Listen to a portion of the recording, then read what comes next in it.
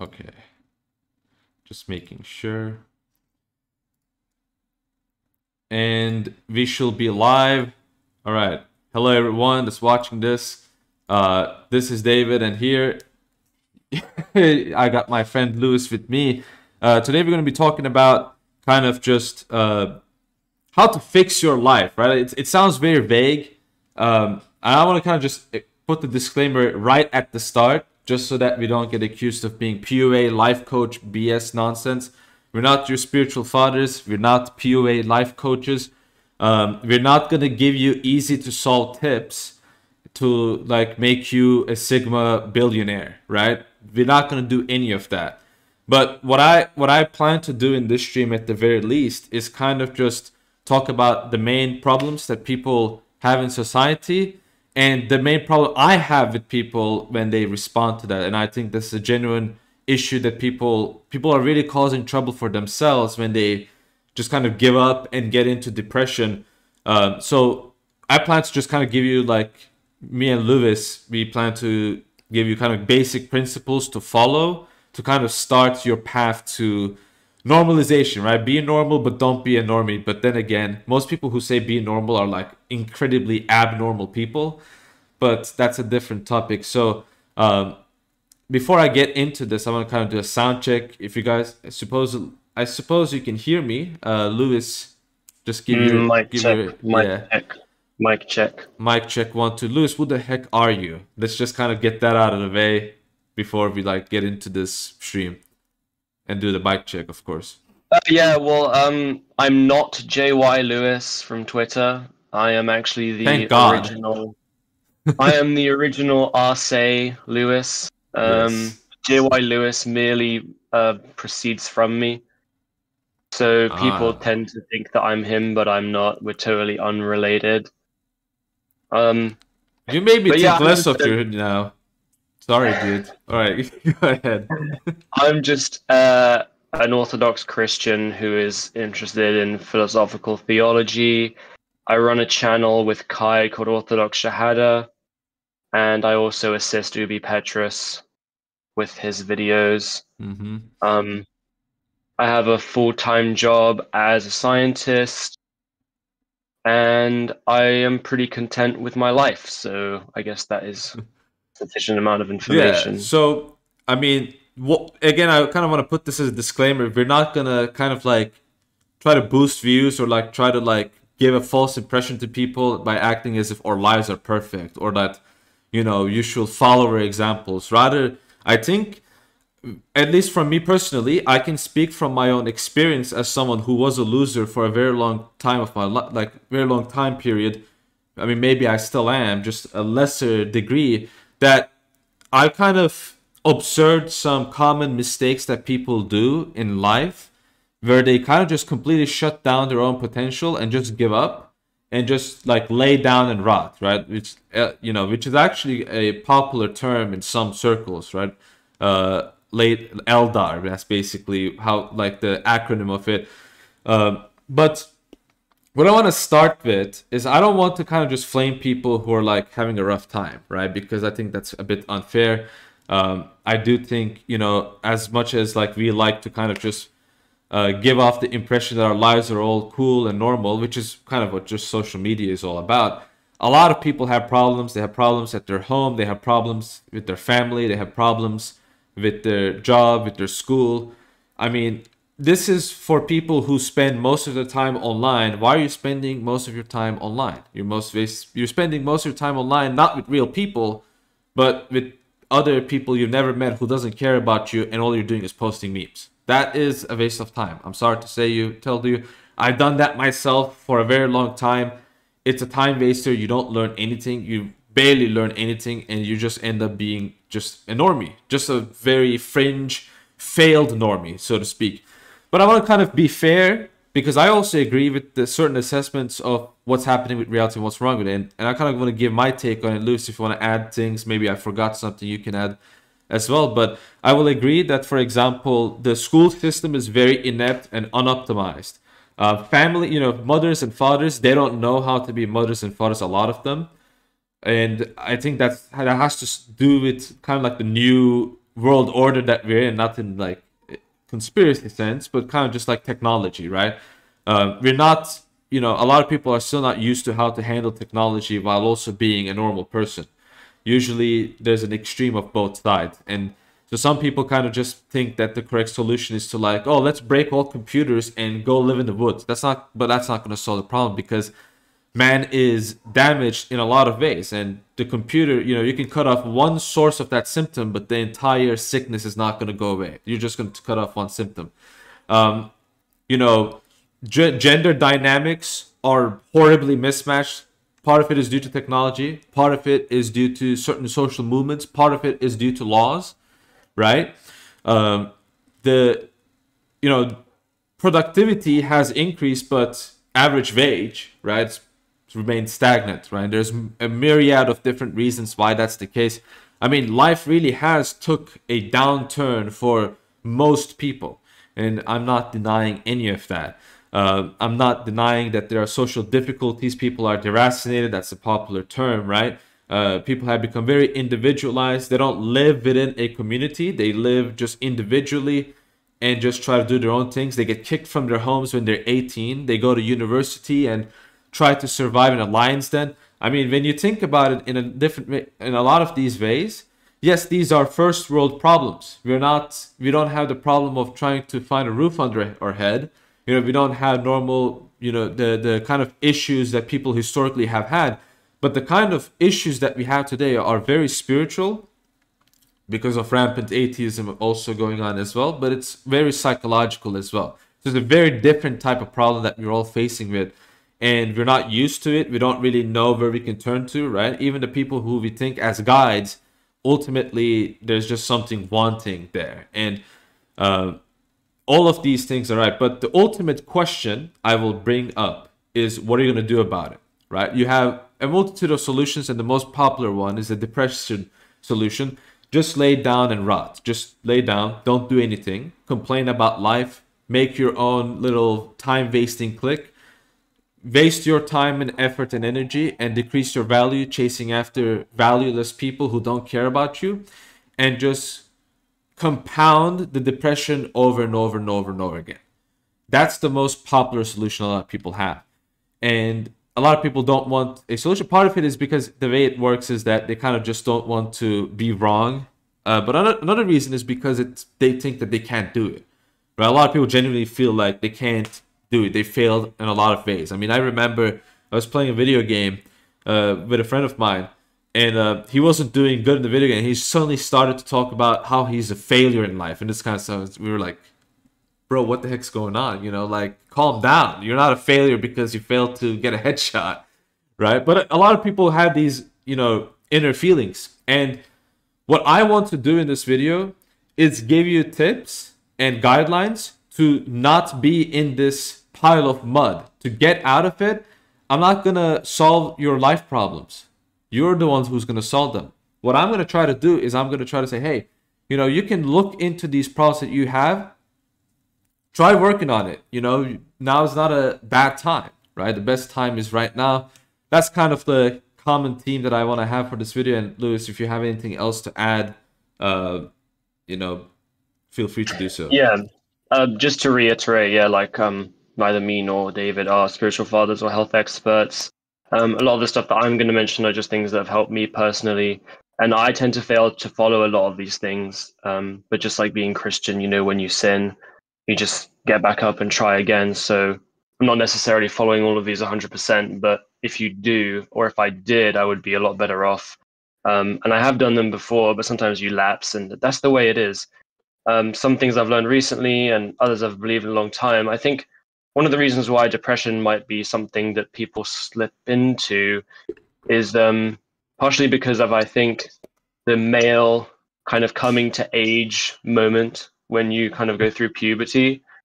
And there isn't really so much of an abrasion moment because I, th- I suppose back in the past there would be kind of some some rite of passage where you would undergo a process that would somehow deeply shock you or bring you to a realization about what your place is in the in the world or in the community. And that's just been completely excised now. Everyone just kind of mm-hmm. undergoes the same generic process. Um, but then at the same time, as a young male, you you get you do get vilified um, because unfortunately, it's just the case that men don't have some kind of intrinsic worth. Um, and this is obviously a take that is said online often now, is yeah. that you kind of have to build up your own worth. Um, and it's harder to do that nowadays because of just the complete removal of any of these kind of coming to age rights or places for men or young men in society now. Like nowadays, you just become a keyboard monkey and uh, you know work the nine to five. So um, yeah, I, I think that's just uh, why eventually everything just becomes so monotone. Um, you feel you don't have a, a place, a purpose.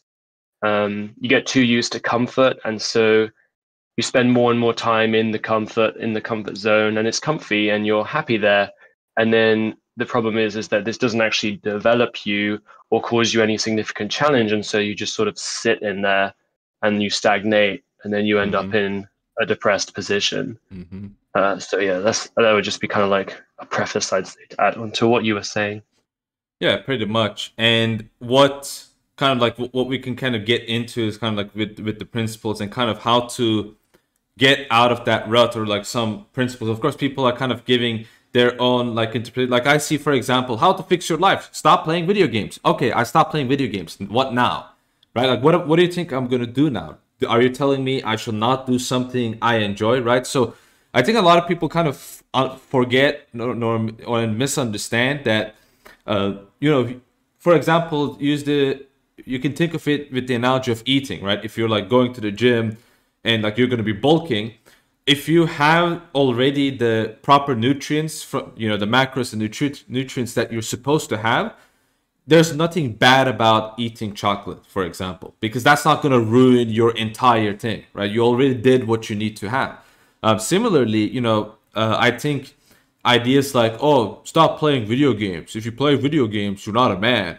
Uh, these are really meme advices that doesn't really help anyone. Like, again, what are you going to do, right? So, um, you, maybe some of you have heard kind of like the David Goggins or Jocko Willink kind of advice. Wake up at 4 a.m. Okay, I woke up at 4 a.m. Now what? Like, what am I gonna do at 4 a.m.? If you can't fill in that time like with something, then that advice just is a complete waste, right? So it's better to it's it's better to I think kind of start with the basics, right? And this is kind of where we get into the clean your room territory a little bit. I mean that's certainly a good start in basics, but um, what we want the general problem I think the general problem that is the source of all of these issues is value, self worth, right? Uh, in psychology, the highest stage of human happiness is, I think it's called self actualization or, or, you know, self worth or something like right, self actualization. And that kind of is that you have found a purpose, you have, you're working on that purpose, you're on the straight path, or maybe you've already achieved it, achieved it, and so you feel in comfort with your own person, right? Uh, you might not like psychology and this kind of stuff. You might think, oh, this is secular. I don't like it. But it's still a good idea to kind of think of, well, how much do you value yourself as a person? Well, if you if you look like a fat, disgusting prick, and you look at yourself in the mirror, that's gonna do something to your brain, right? You're gonna look at yourself in the mirror. You're gonna be like, wow, I look disgusting.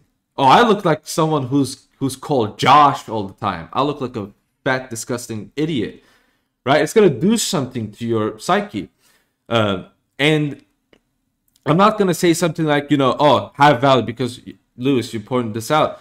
Um, men are told that they don't have any value. Let me just tell you that's totally BS. That's totally not true. Uh, men do have value. It, it, might not be recognized in society, but man, each individual man does have their own, you know, on value and something they can bring up to the table. And this can be something very simple and basic, such as carrying logs. Maybe you're just really good at it because you have the proper work ethic and consistency. And some others, they can do more complex tasks, but they're just kind of have other kind of deficiencies, right? So each man still have worth, even if they weren't able to do that at that moment. And so what I will advise to people is kind of just don't don't cut don't try to find self-actualization from other people. So here's an example. We can, I guess, we can start with the other gender, right? Maybe how people are viewed, or maybe with, gym or something like that. But the example I'm going to give is a lot of men, for example, think I don't have any girlfriends. That means I'm a worthless person. So what have you done right now? You have defined your own worth and value as a man to different people, to people outside of yourself. Even worse than that, you have defined your value and worth to a woman. You're saying, if this woman doesn't like me, I am a worthless man. Who inserted this idea to you? Because this is not a natural idea. This is not an idea that you could find in a religious text. Nowhere in the Bible does it say anything regarding that, right? In fact, scripture says the opposite. You have, you know, it pretty much says you have worth because you're made in the image of God. That's like the most important thing. It doesn't say you don't have value if you don't have women. In fact, it's doing the opposite thing. is usually saying run away from evil women, right? Because they're going to ruin your life. So your value is not dependent on how many friends you have, how many women you have, how many, how much money you have, how high your status is. These are things you want to have, but this doesn't define who you are as a person. And so I think kind of starting from that is very important. This is why kind of simping is a, is a popular thing that goes on goes around all the time. Um, you know, men just think, oh, if I just message ten thousand women and one of them respond to me, I'll like I'll feel good about it. And usually, what happens is actually that doesn't really help. Um, so then you always question, okay, I get the point. How can I actualize value and self worth? Um, I think the best, easiest example, again, we're going to go from base, uh, different principles, but I think we can start with the gym example, Lewis. I think that's kind of uh, the simpler one. So, the example of the VIP mirror, again, you look at yourself in the mirror. Are you proud of yourself? Do you look at yourself in the mirror and you say to yourself, wow, wow, look at me. I got good shoulders. I got, I got good chest. You know, my biceps looking good. Or you're looking at yourself in the mirror and you're saying, wow, I look disgusting. And do you have the time to change that? Most of you people watching this, if you have the time to watch the stream, you have the time to change that. Okay, let's be real. If you have the time to go on YouTube and watch the stream, you can probably change that. You have the time, maybe you have even the money to change that. And so, what would you say then? Kind of the gym fitness tips as an example, because I want I I have ideas myself too. I just don't want to monologue too much. yeah, um, I'd say that um, a lot kind of nowadays, a lot of people put a huge emphasis on the gym to other young people. And the gym is really just a means of attaining fitness and attaining physical kind of looking good, right? Well, that's the general idea of when you're talking about the mirror. So the gym is a good thing. Um, the other thing you can do is get into in like an athletic sport so you don't necessarily, in my opinion, people may disagree with me on this. I don't think you necessarily have to be lifting weights, but as long as you're doing something that is overall athletic for your body, uh, whether that's um, you know swimming or uh, you know football, rugby, these kinds of games, what kind of games that engage your core muscles as well, you will look better. It's just a fact of reality. Um, so gym is good. The only issue with the gym is I would highly recommend that if you do go to the gym to lift weights, you find someone, at least one other person to go with in order to in order to motivate you because it's very easy to lose self motivation if you're going to the gym uh, on your own. So the the ideal thing is to find someone else to go with. Um, so that's the, the first the simplest thing I would say about all that. Yeah, uh, in terms of, I think there's you have a point with kind of athletics thing. I think like you don't have to go to the gym. Like, don't go to Planet Fitness and do like stupid workouts. By the way, like if you're gonna do something, take it seriously. But um, I will also add, you know, any type of, you know, wh- whatever sport you like to do. I think that's kind of a good start. If you're gonna do uh, bodybuilding, right? It's a, it's a good idea to kind of know what you're doing, but also kind of like get into the habit of doing things. There's a couple of options actually. You can either do bodybuilding, you can do calisthenics, and when I say calisthenics, I don't, I'm not meaning, you know, Planet Fitness, stupid stuff like, oh, do squats on an uneven surface. Like that's stupid. That's idiotic. When I speak of calisthenics, I mean chin ups, pull ups, push ups, you know, squats, things like that. Uh, compound exercises that work all of your muscles and just kind of make you more athletic, right? So Uh, and it, it's actually like very low cost too. Like you, you might not even have to go outside to do it. You, you just need some equipment in order to be able to do it. Um, for a lot of what we're talking about, so you don't have to kind of like go to some place, some physical place. You you might want to do it, but you don't really have to. Uh, and uh, Rush made a good point about this. Um, he base he he's an advocate for avoiding gym, not because it's useless, but because it's like you know he wants you to avoid the vanity purpose right so why are you going there again um, i gave you the example of like your physical appearance but your physical appearance shouldn't be the only motivator right what is the benefit of doing a sport regularly first of all it's discipline you know you see the effects of it on your body but i'm ignoring that it has good effects on your discipline depending on the sport that you're doing for example i um, what i do every week or every, bi-weekly I go to Nicaea uh, with my cousin, and uh, if we have friends along, we bring them along the way as well. But usually with my cousin, I go to Nicaea. We meet with my relatives there, and we play football. Right, that's what we do. And you know, mo- mo- a lot of them are family members, but like some of them are like you know distant cousins and things like that. But it's like still, you know, you still meet people, you still do a sport with people, right? And you know, this is just you know because I'm in Europe. This is specific to me, but in America, I mean, I, I, you know, usually people go hiking. That's kind of like what I have in like have in mind. But like in the American equivalent is there probably like there's something that people regularly do. I know that it's you. Uh, people usually just sit on the couches and don't do anything, but I knew I know that there are some people that do something. Do it with that person, even if you don't really like it. Use it as an opportunity to actually at least Yeah. communicate with that person, right? Uh, this is kind of like the Yeah. one other principle I wanted to get into is that you don't have to do anything just to like do that thing. What I mean by that. So, for example, people are unable to do small talk. They can't do small talk. They can't talk about the weather for five minutes, and they're like, "Mm, "I." The whole point of conversation is talking about serious stuff. I can't, uh, you know, small small talk with normies. That's a waste of time. You know, no, you just got filtered, bro. You're getting filtered by like the most basic filtering mechanism, which is small talk. Uh, if you can't do that, then you have serious problems, and you need to do something to fix that. And maybe you can just generally try to have small talk, just like for five minutes with someone, then say, you know, it was nice seeing you, goodbye.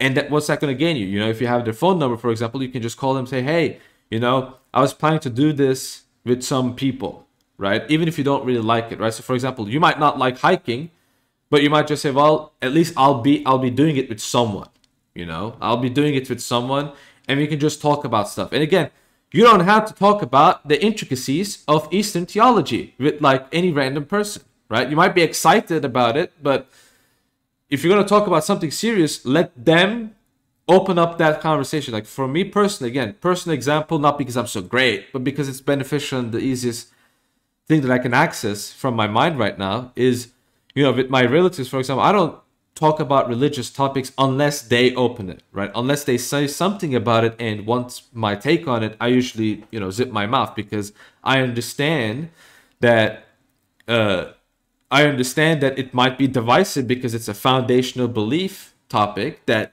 people are potentially going to be disagreeing with, right? Politics, if you can, you know, with, with politics, for example, if you cannot take it seriously, I remember I visited a relative's house. We had like six, seven people in there. And like they were like all shouting about like politics, but everyone knew that we were all doing it in good fun. We were just like having a laugh, right?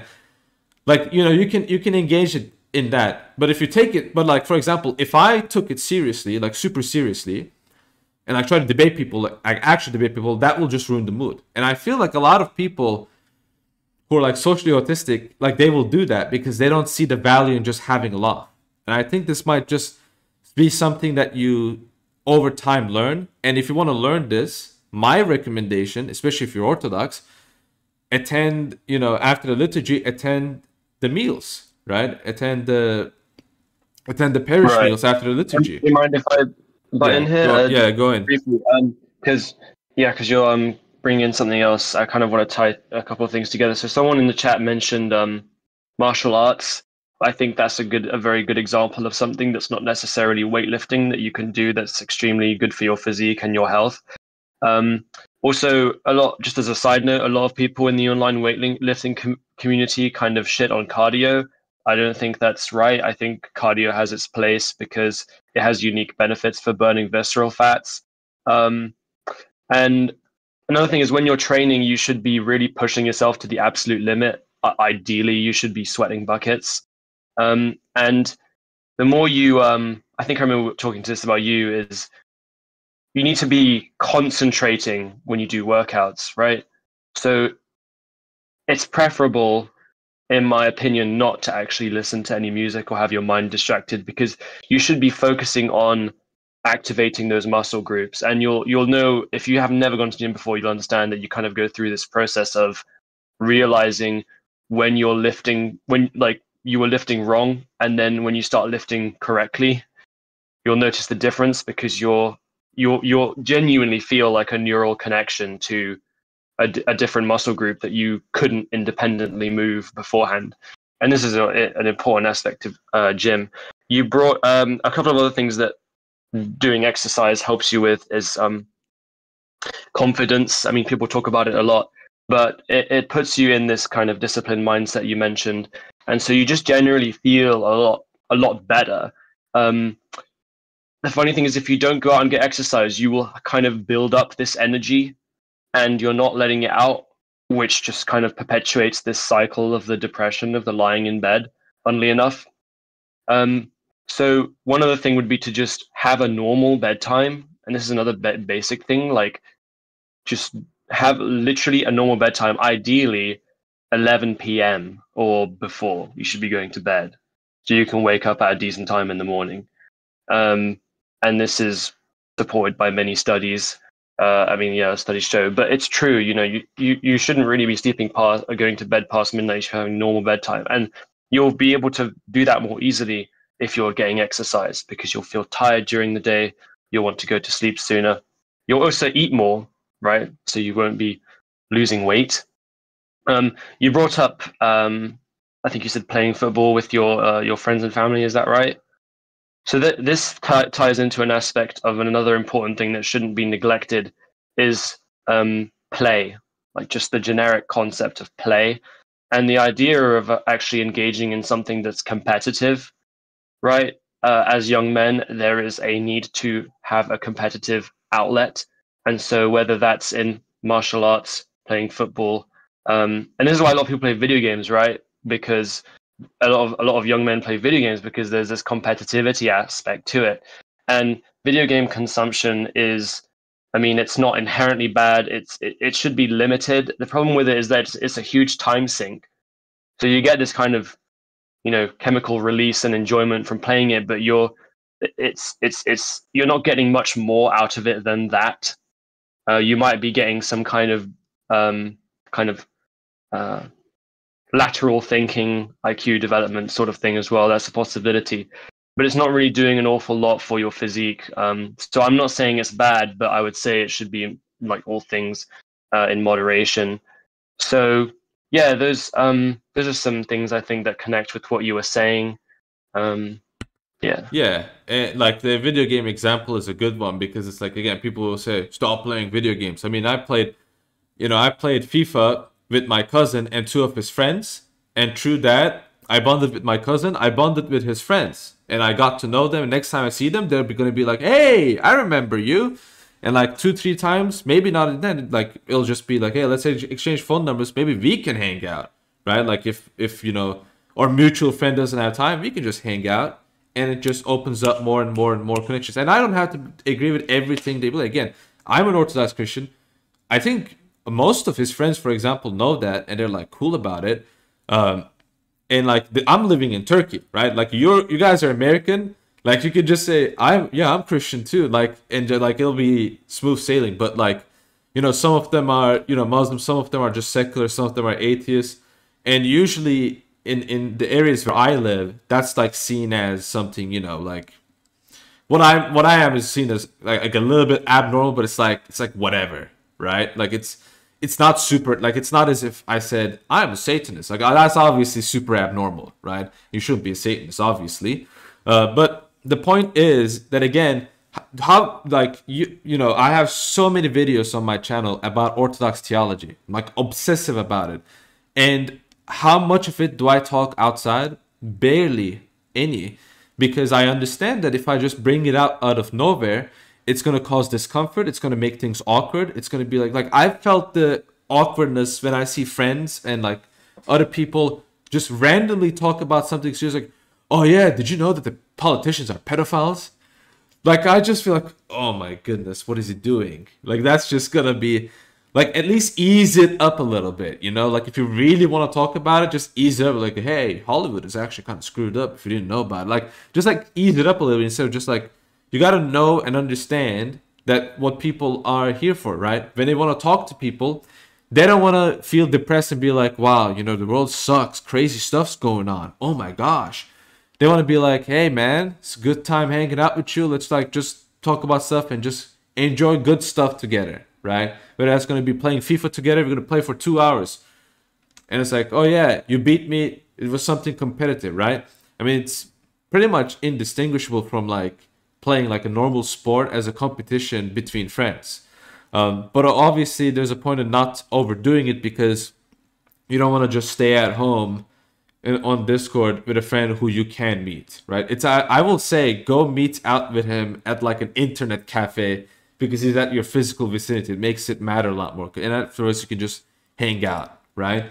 Um, I think I like what I'm kind of focusing on is kind of just you know understand that the physical vicinity, like the fact that you can see people, you can see these people, and you can uh, engage with them directly is it does something to your brain. When your physical engagement is the computer like you're having right now right? It's like a parasocial relationship. I mean um, and that's another thing that's a huge symptom because i see on twitter on youtube etc all the time people having parasocial relationships. Like for example a, a celebrity will post something on her tiktok and someone will be like oh my gosh you're my bestie dude he doesn't even know who you exist. Like she doesn't even know you exist. Like who are you? You're just some random person and you're acting like all buddy buddy up with it with this person. Like i get this myself sometimes and i'm not trying to be mean but like like people sometimes be like oh well you know we're friends right? Haha it's like i don't know you. Like who are you? Like what the heck? What are you doing dude? You're, you're creeping me out a little bit. You know you're, you're butting me up. You're trying to make me feel good but like you're doing the exact opposite because then it's like you know treat me like a normal person, I'll treat you uh, like a normal person. I'll probably be really goofy, like normally, That's how I am online, at least. Uh, but I think a lot of it stems from just not experiencing it, right? Because in high school, a lot of people tend to be loners. They don't go out with people, so they usually hang online. They meet these like strange communities, and then they end up, you know, getting into these weird beliefs you either get into far right wing stuff, which is like at least you're not cutting your penis off, but then you get into some, you know, other stuff, and then you know, okay, now what's going on, right? Um, but I well, think you're, you're yeah. from the normal world, right? Because yeah. on online, uh, people were. I mean, it's it's kind of obvious, but people don't really talk about it much. But being online kind of removes this filter that we normally have in everyday life of things perhaps being better left unsaid, you know, um, and courtesy for another individual. But online, that filter just kind of uh, disappears. With respect to spending time with other people, I think you're totally right. Um, and you know, if there are people who don't share your worldview, that's that is good because you need to have that interaction. You need to have that kind of um, tension. Sometimes it keeps you it keeps you awake. It keeps you aware. I would say on top of that, though, that you do also need to try and share community, which is why you mentioned the uh, lunch after church or coffee hour after church. You do need to try and share community with people who have the same worldview as you, because one, this will keep your sanity. this will help you keep your sanity. And, and number two, the ideal for a young male, in my opinion, would be to find two, maybe three other Orthodox Christian men and live together live together in an apartment or something like that and take care of a home a, a, a living space together. And and pull in more into your not not necessarily into your living space but into your town or your city or wherever you live and then have a network like that right? I think that this would be an ideal, and um, I'm seeing it lived out in a city where I where I am now, and I just see that, and I'm like, man, I really wish I had that, you know, maybe four years ago, that I had that option. So if you can try and organize that, if you try and be the cause of that in your life, it will be, I think, extremely beneficial for you in, in just a number of ways. You'll have people to keep you accountable to not being depressed. You'll have people to motivate you in that sense and you'll have people to whom you can just speak openly, right? Like this is important. Um, so yeah, I have some other basic things to mention, but yes. Yeah, I wanna. I forgot about forgot to mention is like the fellowship stuff, right? Like coffee hour after church. I want to give you examples that drive me nuts. Okay, this drives me crazy in my like the church I go to. I know a couple of other converts that go to go to my church. It drives me crazy. I'm the only one that's speaking with the people there. Like it's it's it makes me mad, right? And there's a, another friend of mine, but like I got him to do that, right? Like I got him to kind of like, you know, I kind of eased him into it because that's my role because I'm his elder.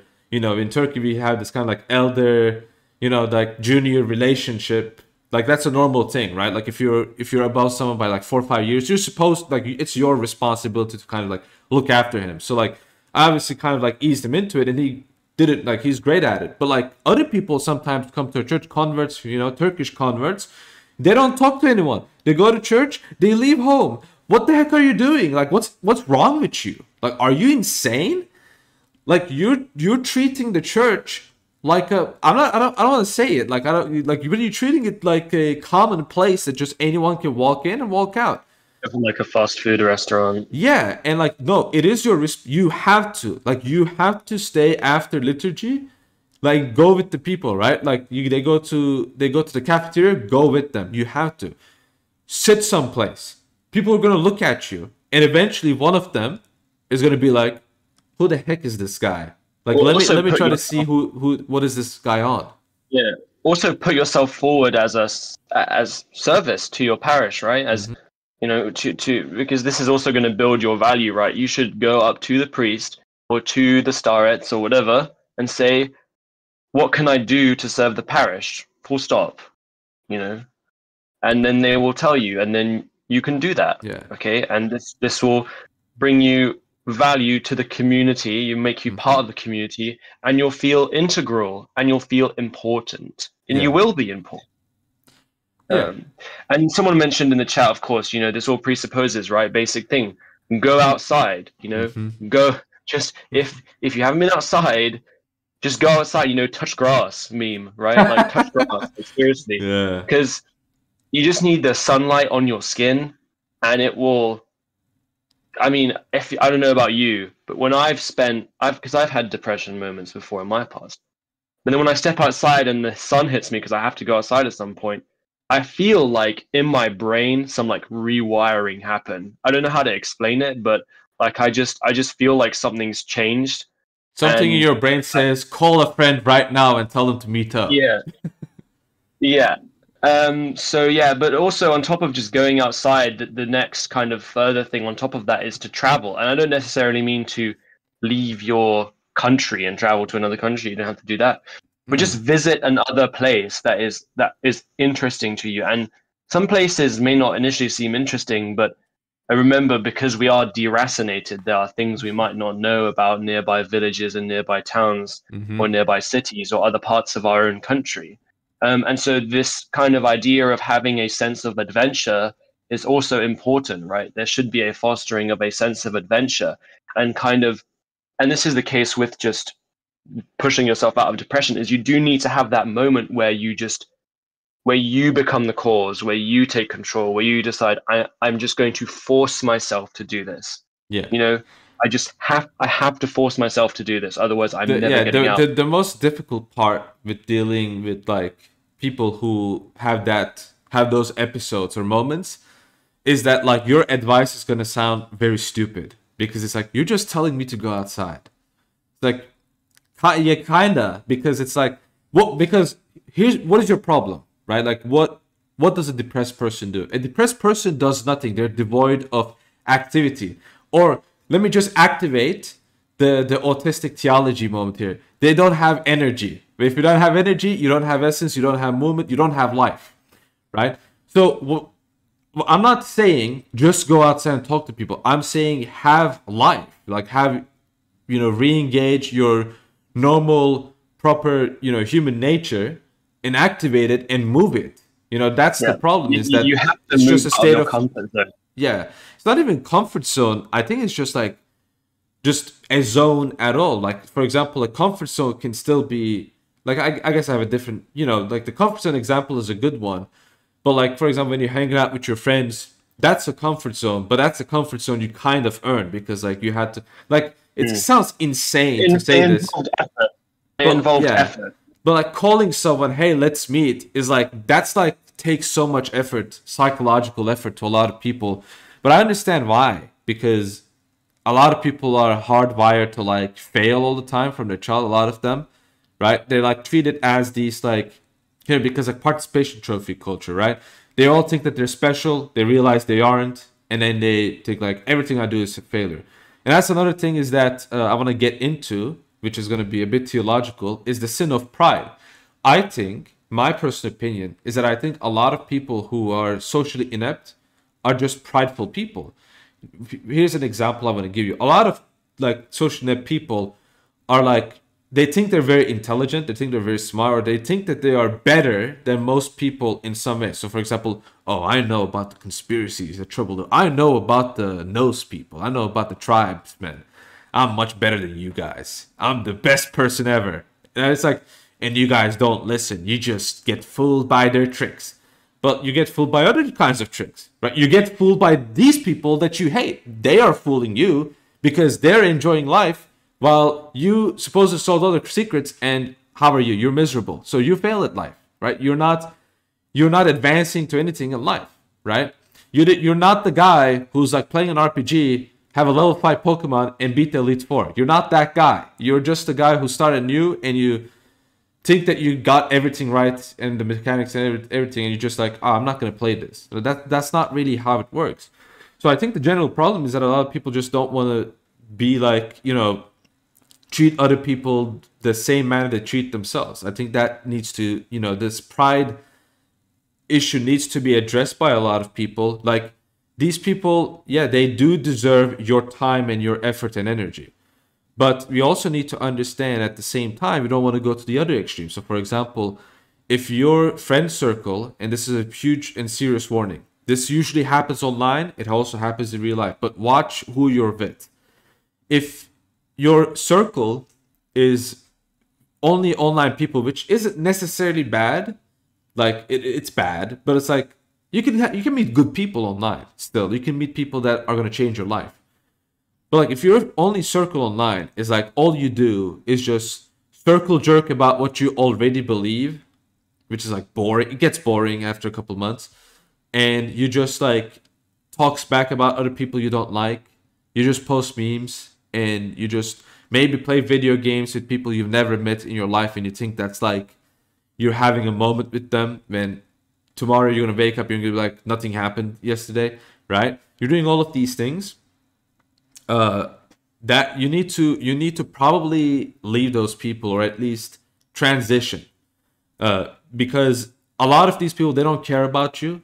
If you left the next day they'd be like you know oh that guy sucked no one none of us like the like them already right? You don't need to spend so much time effort and energy for these kinds of people. And people do actually do that while they're in their comfort zone. This is the kind of strange thing is that they're in their comfort zone but they're still expanding a lot of energy. It's just energy that just is used for absolutely nothing.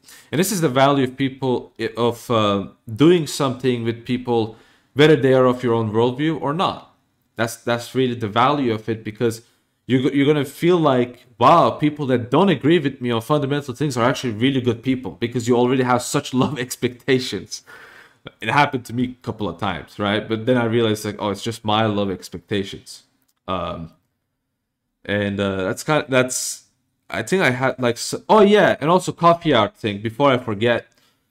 Um i see people joking about this and being like oh you know um we have a lot of people saying base stuff they're fed posting coffee hour like what the heck is wrong with you like you can't fed post online. You got to do it in real life in coffee. You're gonna again. You're gonna talk about high energy expenditure topics. That's just gonna be for a lot of people very awkward, divisive, and it's going to be cause for kind of just discomfort for a lot of people. I mean, they didn't sign up for that. Uh, you know, if people are receptive to it, then that's a different idea, right? Like if I'm at a table and people are talking about, you know, how much Ukraine sucks, I'm going to join in because it's like that's a like, that's a point of agreement that we have. But if like someone brings up something and I can see people's faces, they don't want to talk about this. I'm going to be like, so uh, the weather is really good, right? Isn't it? Yeah. Uh, did you see the football game yesterday? Like that's what I'm gonna do, not because I want to really talk about it, but because it's like someone's just making a case for why no one should hang out with that person. That's the general theme. Is that a lot of people are making a great case, an advertisement on why no one should take them seriously, and when then these people come online and they treat themselves very seriously, and it becomes so clear what kind of a, what kind of people they are, um, at the very least. Anyways, do you have anything to add, or maybe we should go Uh, to a different? no, I, yeah. I kind of wanted to change tack on yeah. just some other basic things. Um, with respect to like diet and eating, Mhm. you should cook your food from scratch. oh yeah. You should learn to be able to cook your food from scratch. Um, you know, you can buy a ready meal every now and then if it's something that you really need out of convenience, but you should force yourself to cook your food from scratch. And we live in one of the upshots of you know modernity is that we have access to the internet and we can look up all kinds of recipes that make it super duper easy uh, to know how to cook from scratch. So buy your food, you know, buy organic food and cook it from scratch. That's what that's you need to learn how to cook because not only is this going to help you in the context of relationships, but if you know how to cook, it is another thing that increases your value as an individual. You know, you can cook for yourself. You can cook for your friends. You can organize a meal. You can cook for your friends. You can host a party. You can do all these kinds of things, right? So that's one. That's one thing I'd say. Um, also, another another uh, obvious one, but it gets kind of under under mentioned is make sure you drink plenty of water during the day and also consume a decent amount of salt. Um, and you sh- you it's good to supplement vitamins and minerals as well, like vitamin D, zinc, uh, magnesium, these kinds of things, oils. Th- These are all important things to supplement if you can. It's a bit of a pain when you have to, you know, but you should supplement those things. Um, some people talk about avoiding sugar. Um, like some people just, I'll just completely cut sugar out of your life. I think that that's it's not invalid. I think it's okay, but there are kind of, and this is something that I'll talk about later. But there there are parts of cultural, like food culture, in different hegemonies, depending on where you're from, that involve sugar, and you should be participating in your own culture, right? For example, um, Moroccans like drinking mint tea, but it's kind of traditional and obligatory to have sugar in mint tea. So in that case, if you're you should it's, it's okay to do that. And there's nothing wrong with having sugar. It's just another one of those things where it's, you know, have it in moderation. Like David mentioned earlier, you know, if you're if you're healthy in all these other aspects of your life, it's okay to eat chocolate every now and then. you know, just um, don't uh, don't overdo it, right? Um, so yeah, those are the kind of basic things I'd say. One thing, one thing I realized when you were explaining the point about cook your own food is that there are a lot of things that we can do in our lives that are like very basic things, right? That actually would require a lot of activity. Like cooking your own food, for example, that requires some sort of, you know, you need to spend some time, spend some effort doing this, right? Maybe instead of playing that round of Dota, maybe cook yourself food, right? As an example. Um, another one is uh, like cleaning, for example, right?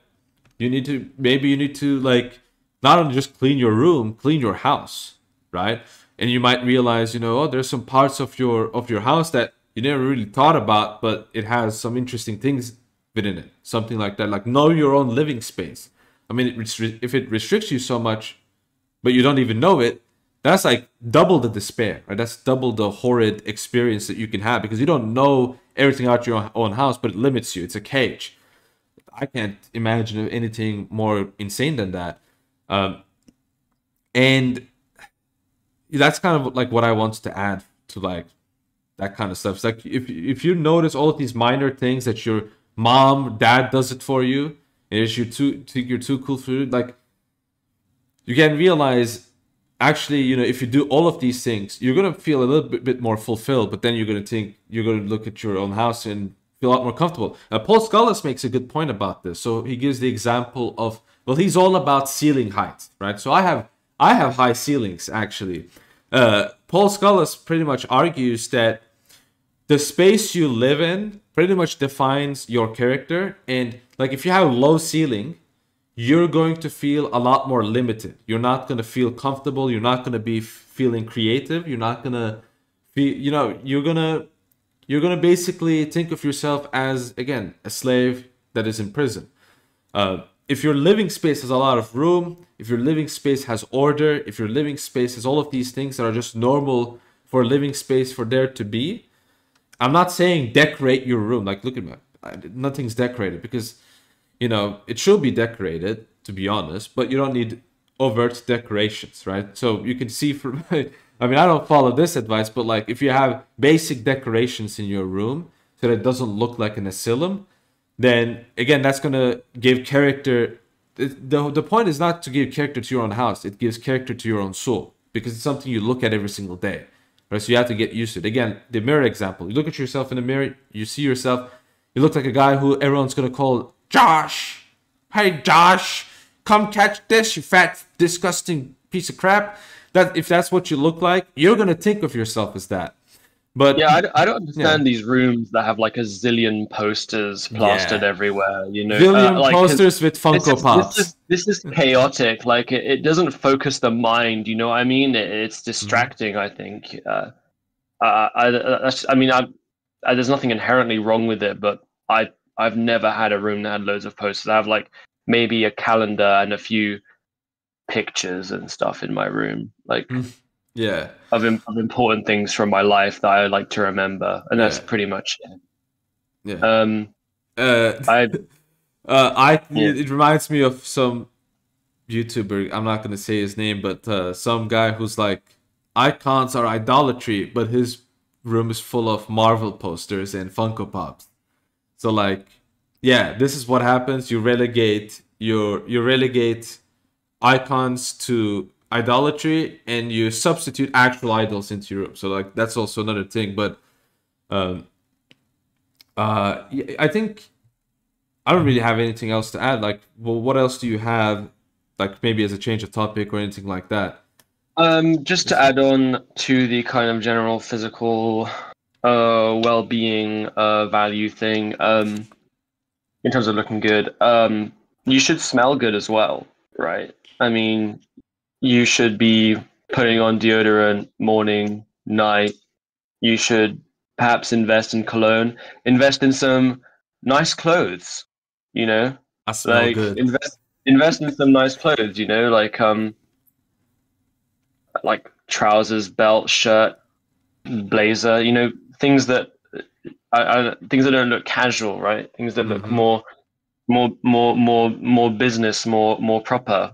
Um you know, if you and here's the thing is if you have facial hair, um, you should you should probably get it shaped. You should yeah. probably get it trimmed. Uh, wanna, there's a kind of like meme meme in the author world where it's like if you're a man, you have to have a beard. Like I totally disagree with this. If you have a chiseled jawline, and then you grow a beard and it just covers your jawline, you've you've just it's, it's served you no purpose. Do you know what I mean? Mm-hmm. Um, so, and if you don't have a jawline, then grow a beard and shape your beard. yeah. Right. So that's what I'd say on that. Uh, yeah, that those would just be the last kind of points. Yeah, yeah, yeah. Uh, the beard stuff. Yeah, that's uh. So a lot of people who are Orthodox, they're fascinated by beards, right? Because they see clergy and bishops with beards, and they think, oh, these guys are wise sages. I can trust what they say, and like these like beardless Westerners, I don't know, ugh, doesn't like you know they you know and that there's a point to that, right? There's a there's an actual symbol and purpose behind the beard, right? But if you're 20 something, you can't grow a proper beard, and like you grow it out, you're not clergy, and you just look bad. Don't you know? I I see a lot of people use the excuse of I'm Orthodox, I don't need to shave. No, you do. You do need to shave. Uh, some of you do need to shave. I I had this light switch flip because I used to kind of think that way a little bit. Um, but like a couple months ago, I like I wore a like massive jacket and like beanie and like a lot of different things, and like I looked at myself in the mirror, I looked homeless. I looked genuinely homeless. Like, oh my gosh! Like, just there's no way a person will believe I am not homeless. Like with the gloves and everything, it's like, hey man, can I get some dollars? I need dollars to survive in the cold, man. Like that's what I looked like. And I, like that's when I realized I gotta fix this. Like this has to go because, like, I don't want to look at that in the mirror, right? Uh, so I think like you also need to realize. I mean, in, in Western Christianity, um, clean shaven was normal, right? Being clean shaven was normal, and even though we're Orthodox, or some will say Eastern Orthodox, you don't have to exclusively follow an Eastern way of living as someone who is in the West or someone who lives in a country whose culture in in whose culture it is normal to shave your beard, right? If you're, for example, but if you're Greek, like if you're in Greece, then it's like abnormal to do so. Oh, you know, that's that's something you discuss with your priest, right? But like, I'm pretty sure like most priests are gonna be like, you know, we're not be- beardolaters, you know, we're not like, you have to shave it, shave it. Like you're not gonna lose grace when you do it. Uh, but another reason why, by the way, the, the reason why clergy don't shave their beards is because uh, I think like there's of the anointing service. So like there's kind of like that purpose behind it, right? So like every part of your body is an anointed, including your beard. So like if you shave it, you're shaving the anointed part of your body. So that's kind of like it's kind of like that theology behind it.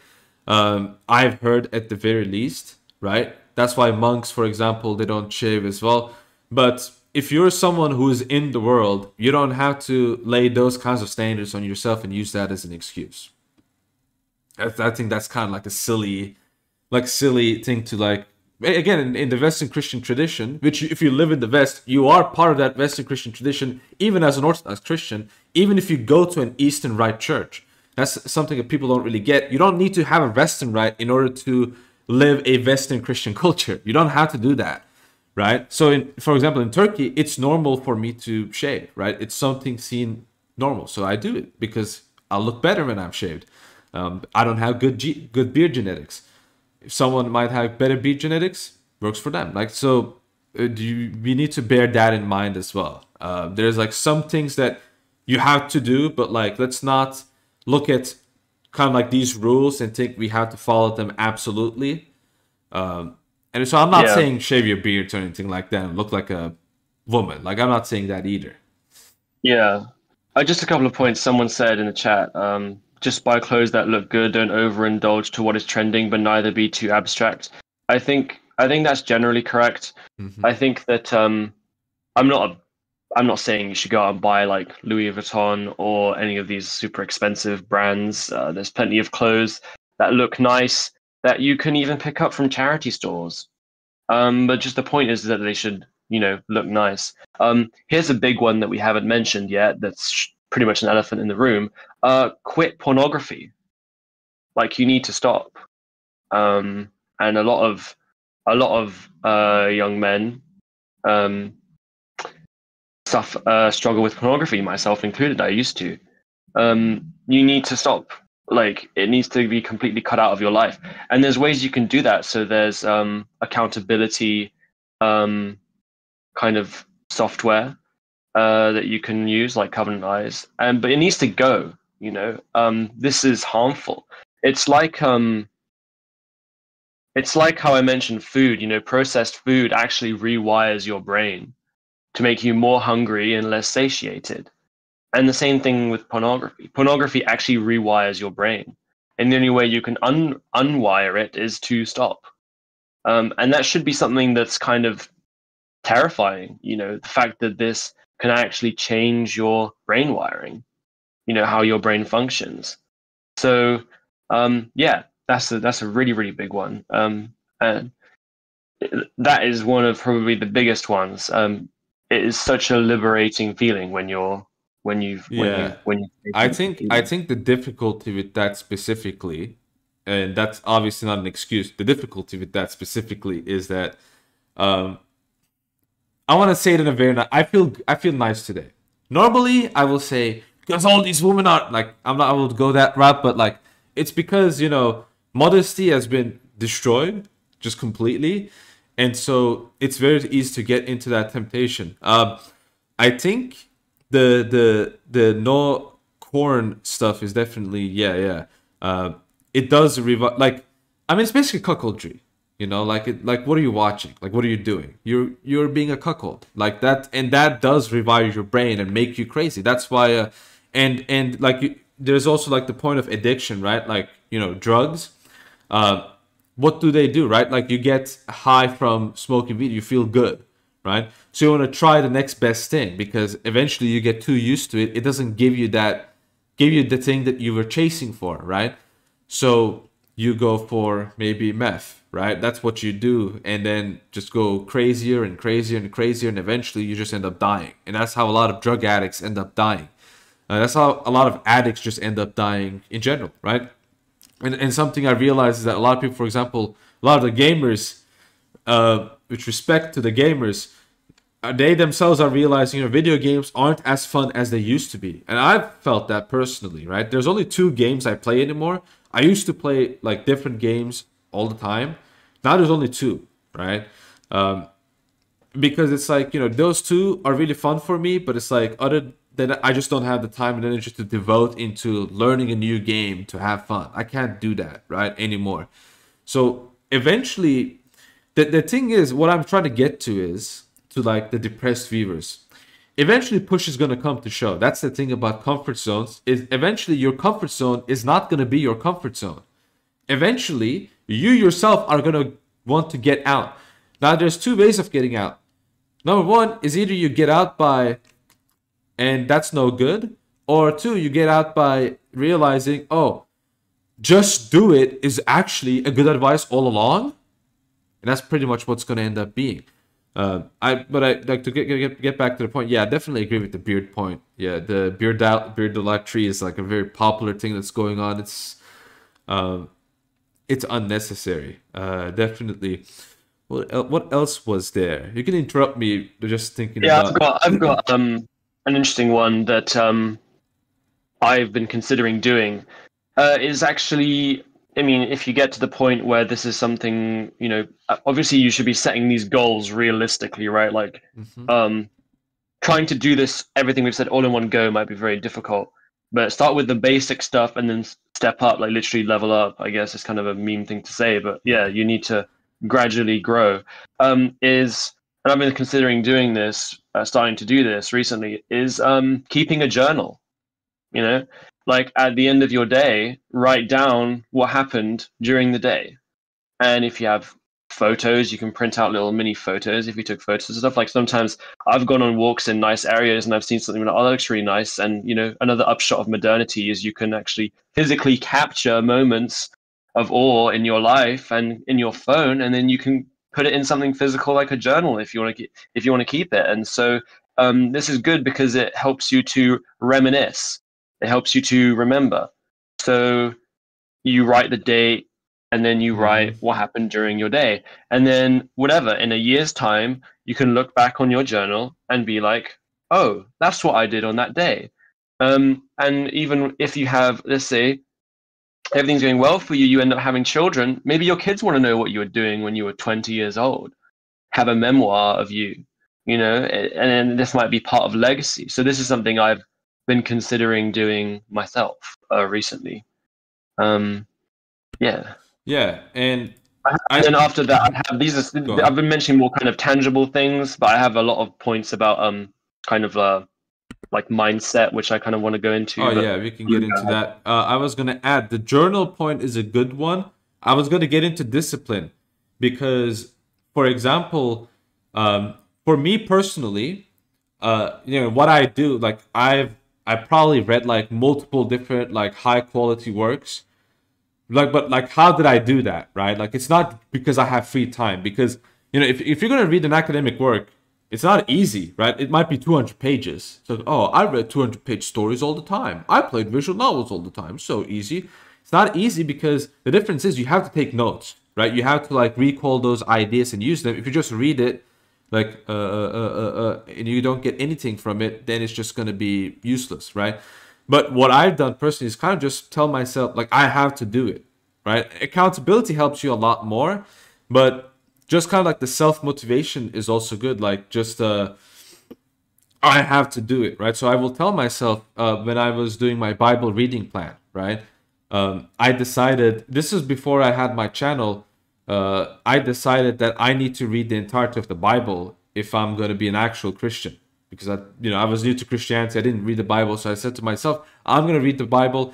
It doesn't matter if I don't understand some parts of it. I'm just going to have to read it and I told myself, okay, I'm gonna read like, you know, two, three verses of Genesis, couple, uh, the sorry, two, three chapters of Genesis, couple verses of Proverbs, you know, one Psalm, and then one chapter of the New Testament, right? That's kind of like a general plan I, I, I, I beholden myself to, and I told myself every time I woke up, I said, today I have to read the, you know, I have to read the Bible. I decided reading it every single day, and like when I closed it, I was like Wow, that was easy. I only read like four chapters in one day. That's like nothing. But I did it every single day. And eventually, some days, I just told myself, hey, why don't I read like eight chapters today? Like, why don't I read 12? Why don't I read 16? Like, I myself have like motivated myself, like, you know, I'm, I'm doing it too slowly. Now I can like do it even more. And then I realized, okay, I'm getting a bit burned out. Let's like calm down a little bit, just focus on like what, you know, just the daily plan, just kind of like you'll end up like get yourself in the tempo and, and this is actually a lot of um, elders advise this. I've seen elders say that it's a sin not to have a daily schedule. And i think that's a huge thing. You need to have a daily schedule. If you don't have a daily schedule you that basically means you're not letting yourself have control. You are letting your own fallen flesh take control and what does that mean? Let me tell you what that means. Our fallen flesh has its own inclinations and passions. So some passions are blameless, obviously, but some are blameful. Now, either way, you don't want to let those passions, whether they're blameful or blameless, to take control of you, because even blameless passions can become blameful, right? Eat, you know, hunger is a blameless passion, but if you let it take control over you, you'll end up becoming gluttonous, as an example. Uh, so you don't want them to take control over you. And so you need to kind of make a schedule in order to know, you know, kind of like plan, okay, this is the formation that they will attack. This is how I will respond. I'll encircle them. Basically, what I'm saying is that, you know, just set up daily goals, say you have to do them, and just see how well you're doing with it. And this can be as simple as, again, reading the Bible every single day. I think if you don't read the Bible, like if you don't read minimum the daily readings, I think there's a problem there. You have to do at minimum the daily readings um, of scripture. That's scripture is just a perfect example. For me personally, like I, I told myself every single day I'm gonna read at least one high IQ academic work. I just I'm just gonna do it. Maybe it's five, ten pages. And like you know, you can do something that might help you. So for example, I got sunflower seeds over here. I I eat them every time I read something that I don't need to take notes on, just because I know sunflower seeds are not good for me health wise, but it's a good trade because it allows me to focus on completing my task, right? Um, so you want to kind of also like again, you need to be smart about it. If you're too strict, you will burn yourself out. So like me personally, I I don't try to be too strict to myself because I know eventually I'll just give up and just like explode and be like, you know, I'll, I'll be dead, right? So I'll let myself enjoy something. So I have yeah. chocolate in my refrigerator. I take my eating schedule very seriously. I still eat chocolate like bi daily because I enjoy it. I, I like I like the taste of chocolate and it doesn't ruin my development. Like how yeah. how just one piece of chocolate going to ruin my development? It's not going to. Our body doesn't work that way. It's about moderation uh, again, you know. Um, and I think that's people talking about alcohol in the chat. I mean, if you're someone who's finding alcohol is something that's harming you in your life, then yeah, you should also you should just quit that. You know, if if you can't have a healthy relationship with certain substances, then, you should, probably should just cut them out of your life. Me personally, I'm I'm I'm very able to not drink alcohol for months on end, uh, and if you can do that, then you can have alcohol every now and then in moderation. Uh, and same thing. Uh, I mean, I'll even have a cigar on on on special days. You know, I don't think there's anything inherently wrong with that. Um, but just to touch on your point about um, books uh, or reading more specifically, you should be reading books, right? Um, you know, whether it, uh, uh, for for the religious, the lives of the saints. You know, if you read the lives of the saints, this will engender piety in you. This will make you it, there's something transcendental about reading the lives of the saints. It's it's very strange. It, it kind of motivates your religiosity and your piety to pray more and to attend church more fervently. And, and so, uh, of course, praying, you know, goes without saying because praying and praying will play a key role in quitting pornography. By the way, um, because it will help you be vigilant and aware and again is this orthodox idea of being active in your life and not being passive and not being the one receiving all of these causes and passion because the, the root word of passion is passivity right? Being passive being the one who is affected by things not being the one who is active and being the cause of things outwards.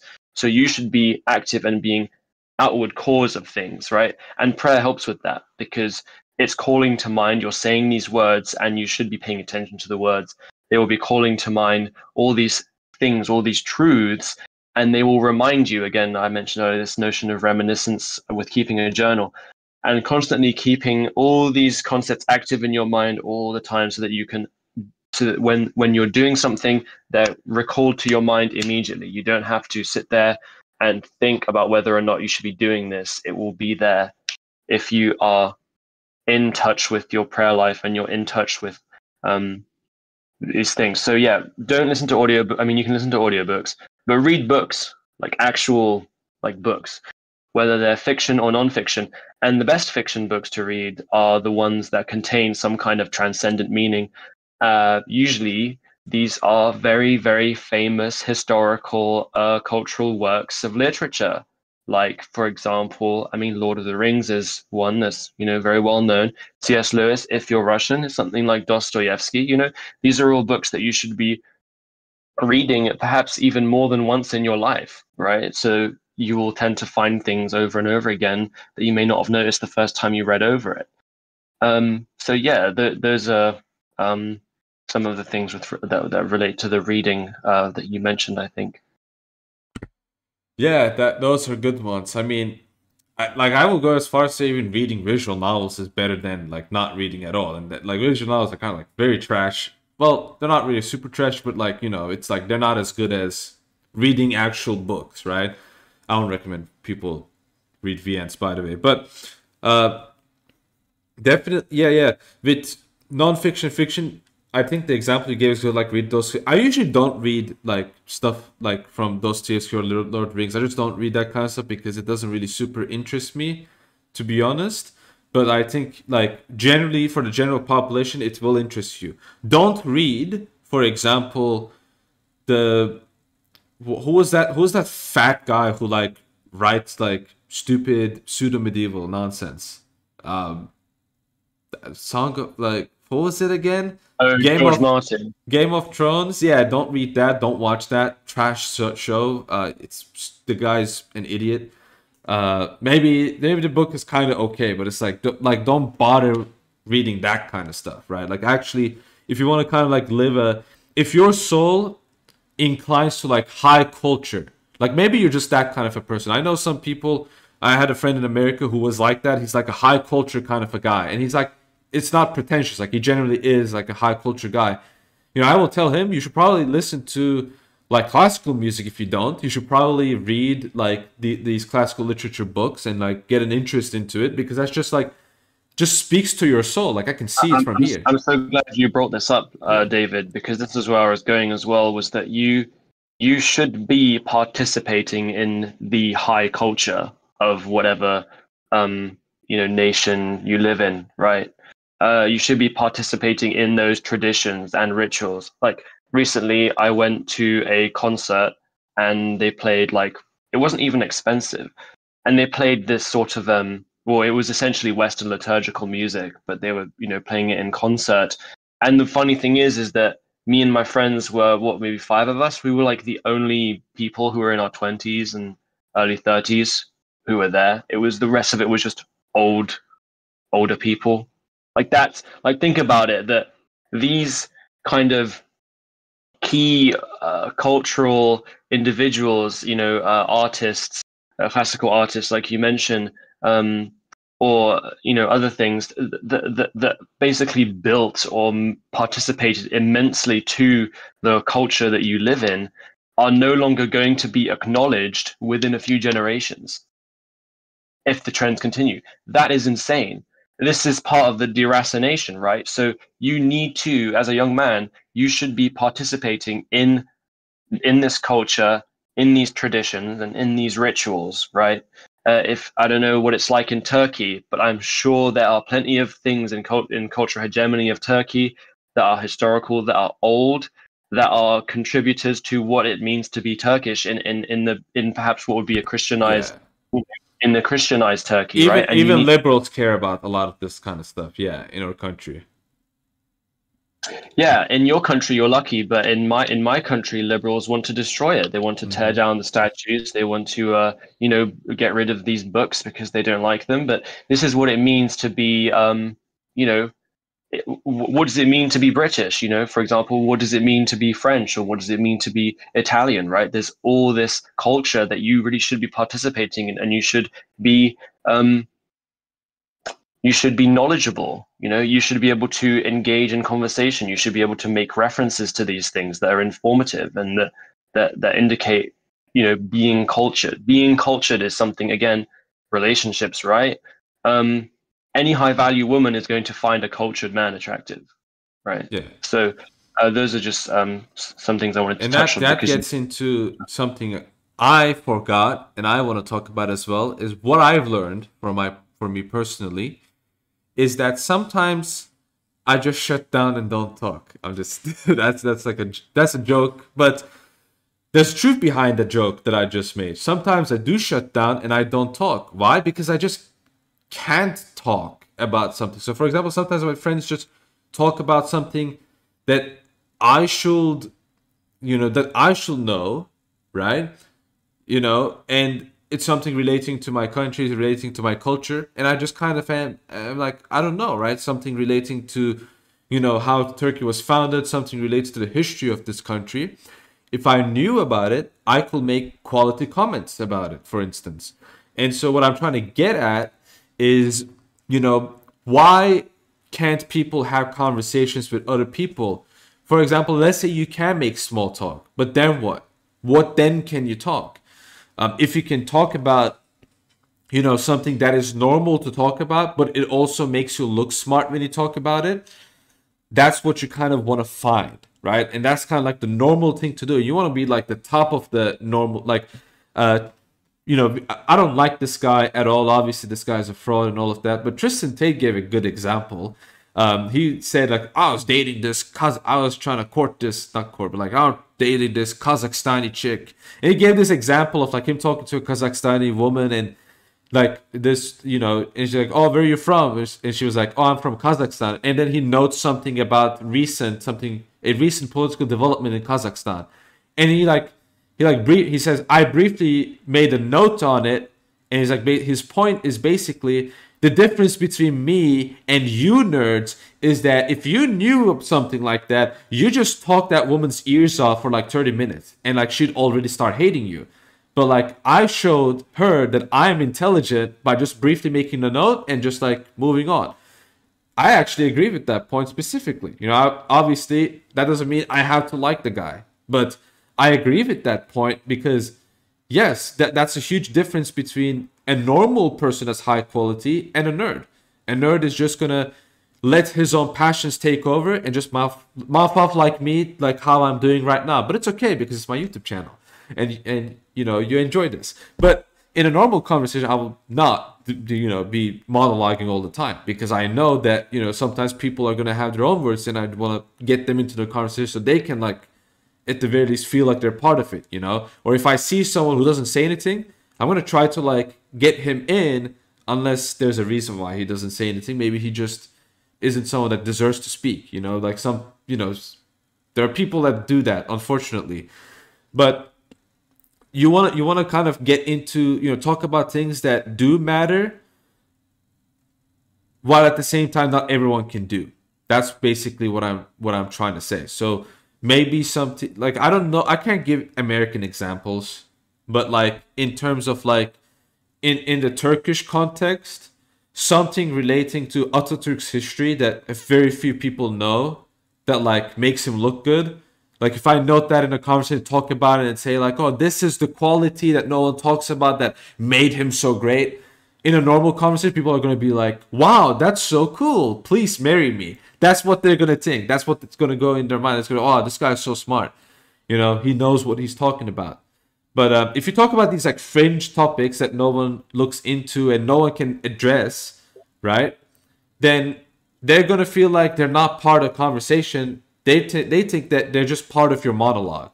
They're part of your public speech. And that's like the big difference between how Spurgs try to communicate that doesn't work, like me, and how like actual normal people talk. And they kind of, this is all reflex for them. So the only way you can like learn this is kind of just doing it and doing it and doing it with people who are like, like who are empathetic to like your struggles and like they're kind of like because like my cousin for example he is like that right like we come sometimes talk about this and he like knows like hey dude like uh he like sometimes tells me hey dude like you're like way better than how you used to be because like you know this this and that. Right? So but i think even normies are like very willing to like be open and friendly about this kind of stuff. Uh though you know it's it sounds strange saying that but it's it's real. Yeah, I think someone mentioned something in the chat. Um, it's it's it's thankfully we are all made in the image of God, and so we can all recognize uh, beauty. So these these elements of culture aren't uh, culture, historical knowledge, these kinds of things. You're not shut shut out to it, right?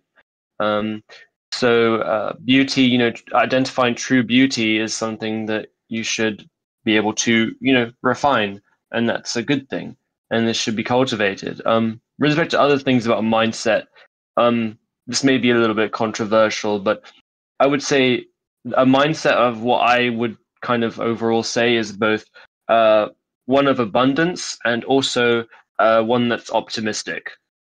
Okay, um, so you you do generally want to be someone who is a glass half full half full person, in my opinion, um, because if you're constantly in a negative mindset, in a pessimistic mindset, you are just de facto setting yourself up for failure in a way.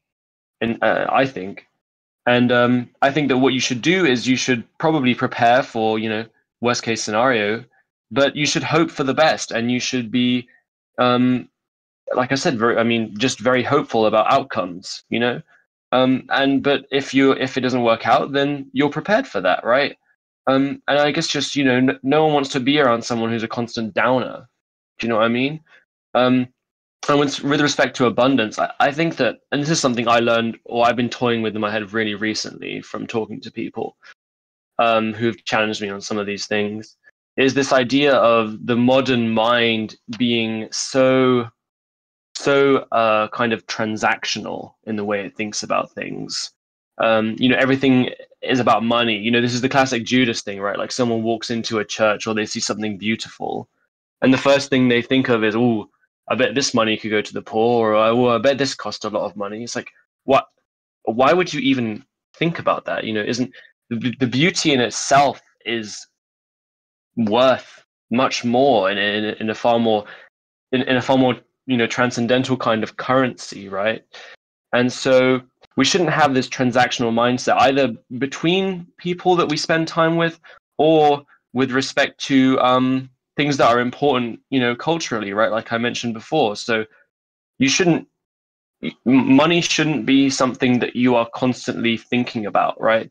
You know, there's this whole thing of like, well, if someone does you a favor, it's like, well, oh, like I owe, I owe, I owe them, right? You know, you shouldn't, you shouldn't have this I owe you mindset. It should be more of a, they did something nice for me, and so I want to continue this relationship that that nice action has created, and so I'm also going to do a nice thing.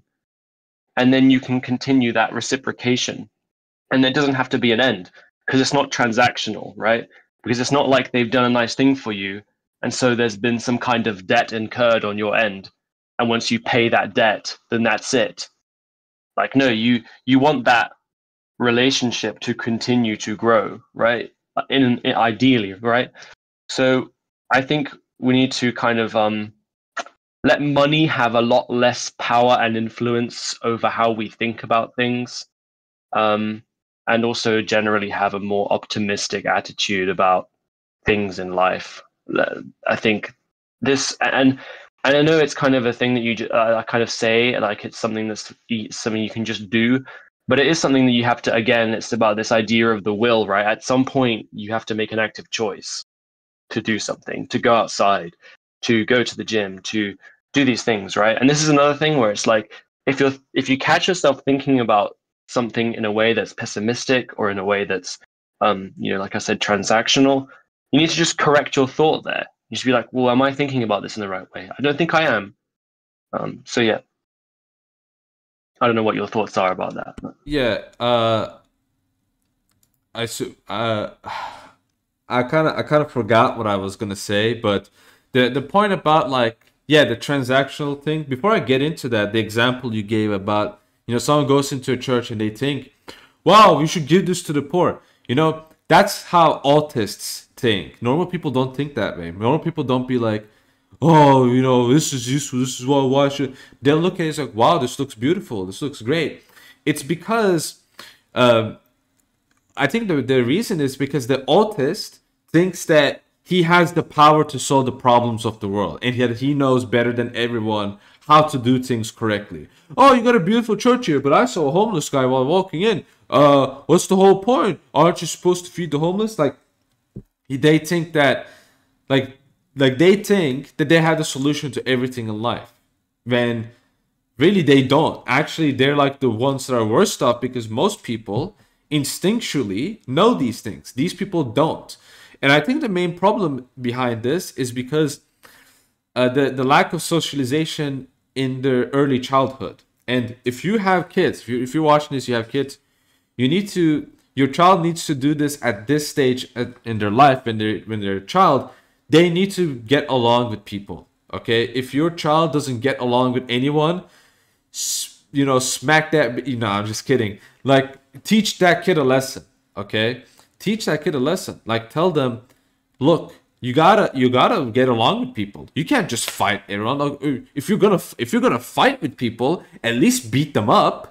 But don't get beaten up. But like get along with people, have value in your you know, get along with people, talk to them normally without like getting aggressive, and just because here's an example of this uh, confidence, right? uh, if a child is con- you know has socializes with others has friends when they're a kid and gets along with others and they can easily get along with other people when they meet they will not feel any problem trying to take that extra step to meet someone right? Because for them it's natural. They think it's normal. But most people today because they are cowards and they, they were not raised well they are too scared to take that extra step because they think that oh you know i'm gonna get beaten again. I'm gonna get bullied again. Oh no no no no. Uh, no you know normal people what they want they can take the extra step. They're willing to condescend to people's weaknesses because for them it's like you know it's like to them they considered it as normal. And so for those people maybe they might think that way but they're going to be like oh wow this is still a beautiful place. This is still looking good. No i'd still think in their mind you know what if whatever and then they, they might you know if they're gonna say it out loud they might for example in i'm using the church example right? This can be used as different examples too but let's use the church example. They might go to the priest and like just conversate do small talk and then get to like his question which is like hey priest um i was just wondering you know like uh, why do you decorate your churches so much? Like, what's the point? Like, is it not more important to feed people? I said, like, that's what they will do, not just instantly just think about negative things. And and this connects to kind of like the general idea of negative people. Um, the your inner circle, your inner circle. Uh, what, what I realized from my own personal experiences is that the people who constantly complain, constantly say negative things, constantly criticize others, and that's like the best thing they do, constantly gossips about other people. Those are the number one people you need to watch out for and you need to stay away from. Those people will ruin your life. They will backstab you, they will ruin your life, they will treat you like trash because at like it just shows the kind of a mindset. they might be great people by the way. I'm not saying they're evil people. I'm not saying they're bad people. They, they're great people. They might be great people, they might be moral people even. But the thing is, they're going to trick themselves into thinking that you betrayed them, basically, at some point, right? It's just a ticking time bomb. At some point, they're going to be like, this guy's going to betray me.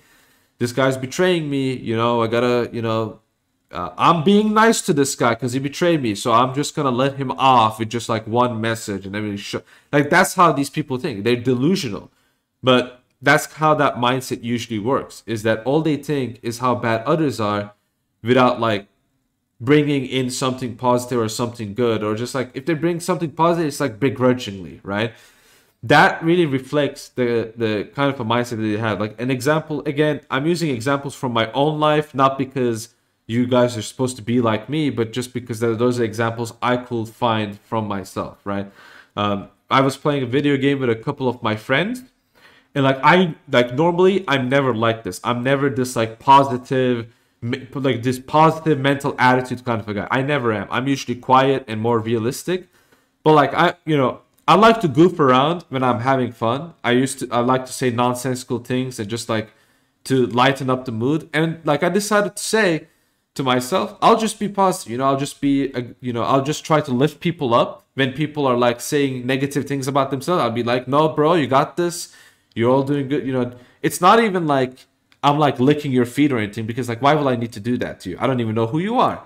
I don't need to like, you know, pump you up. I'm just being that way because well, I want to win the game, but also it's like that's just better than being realistic. It's like, "Oh yeah, you really messed up there, huh? You suck."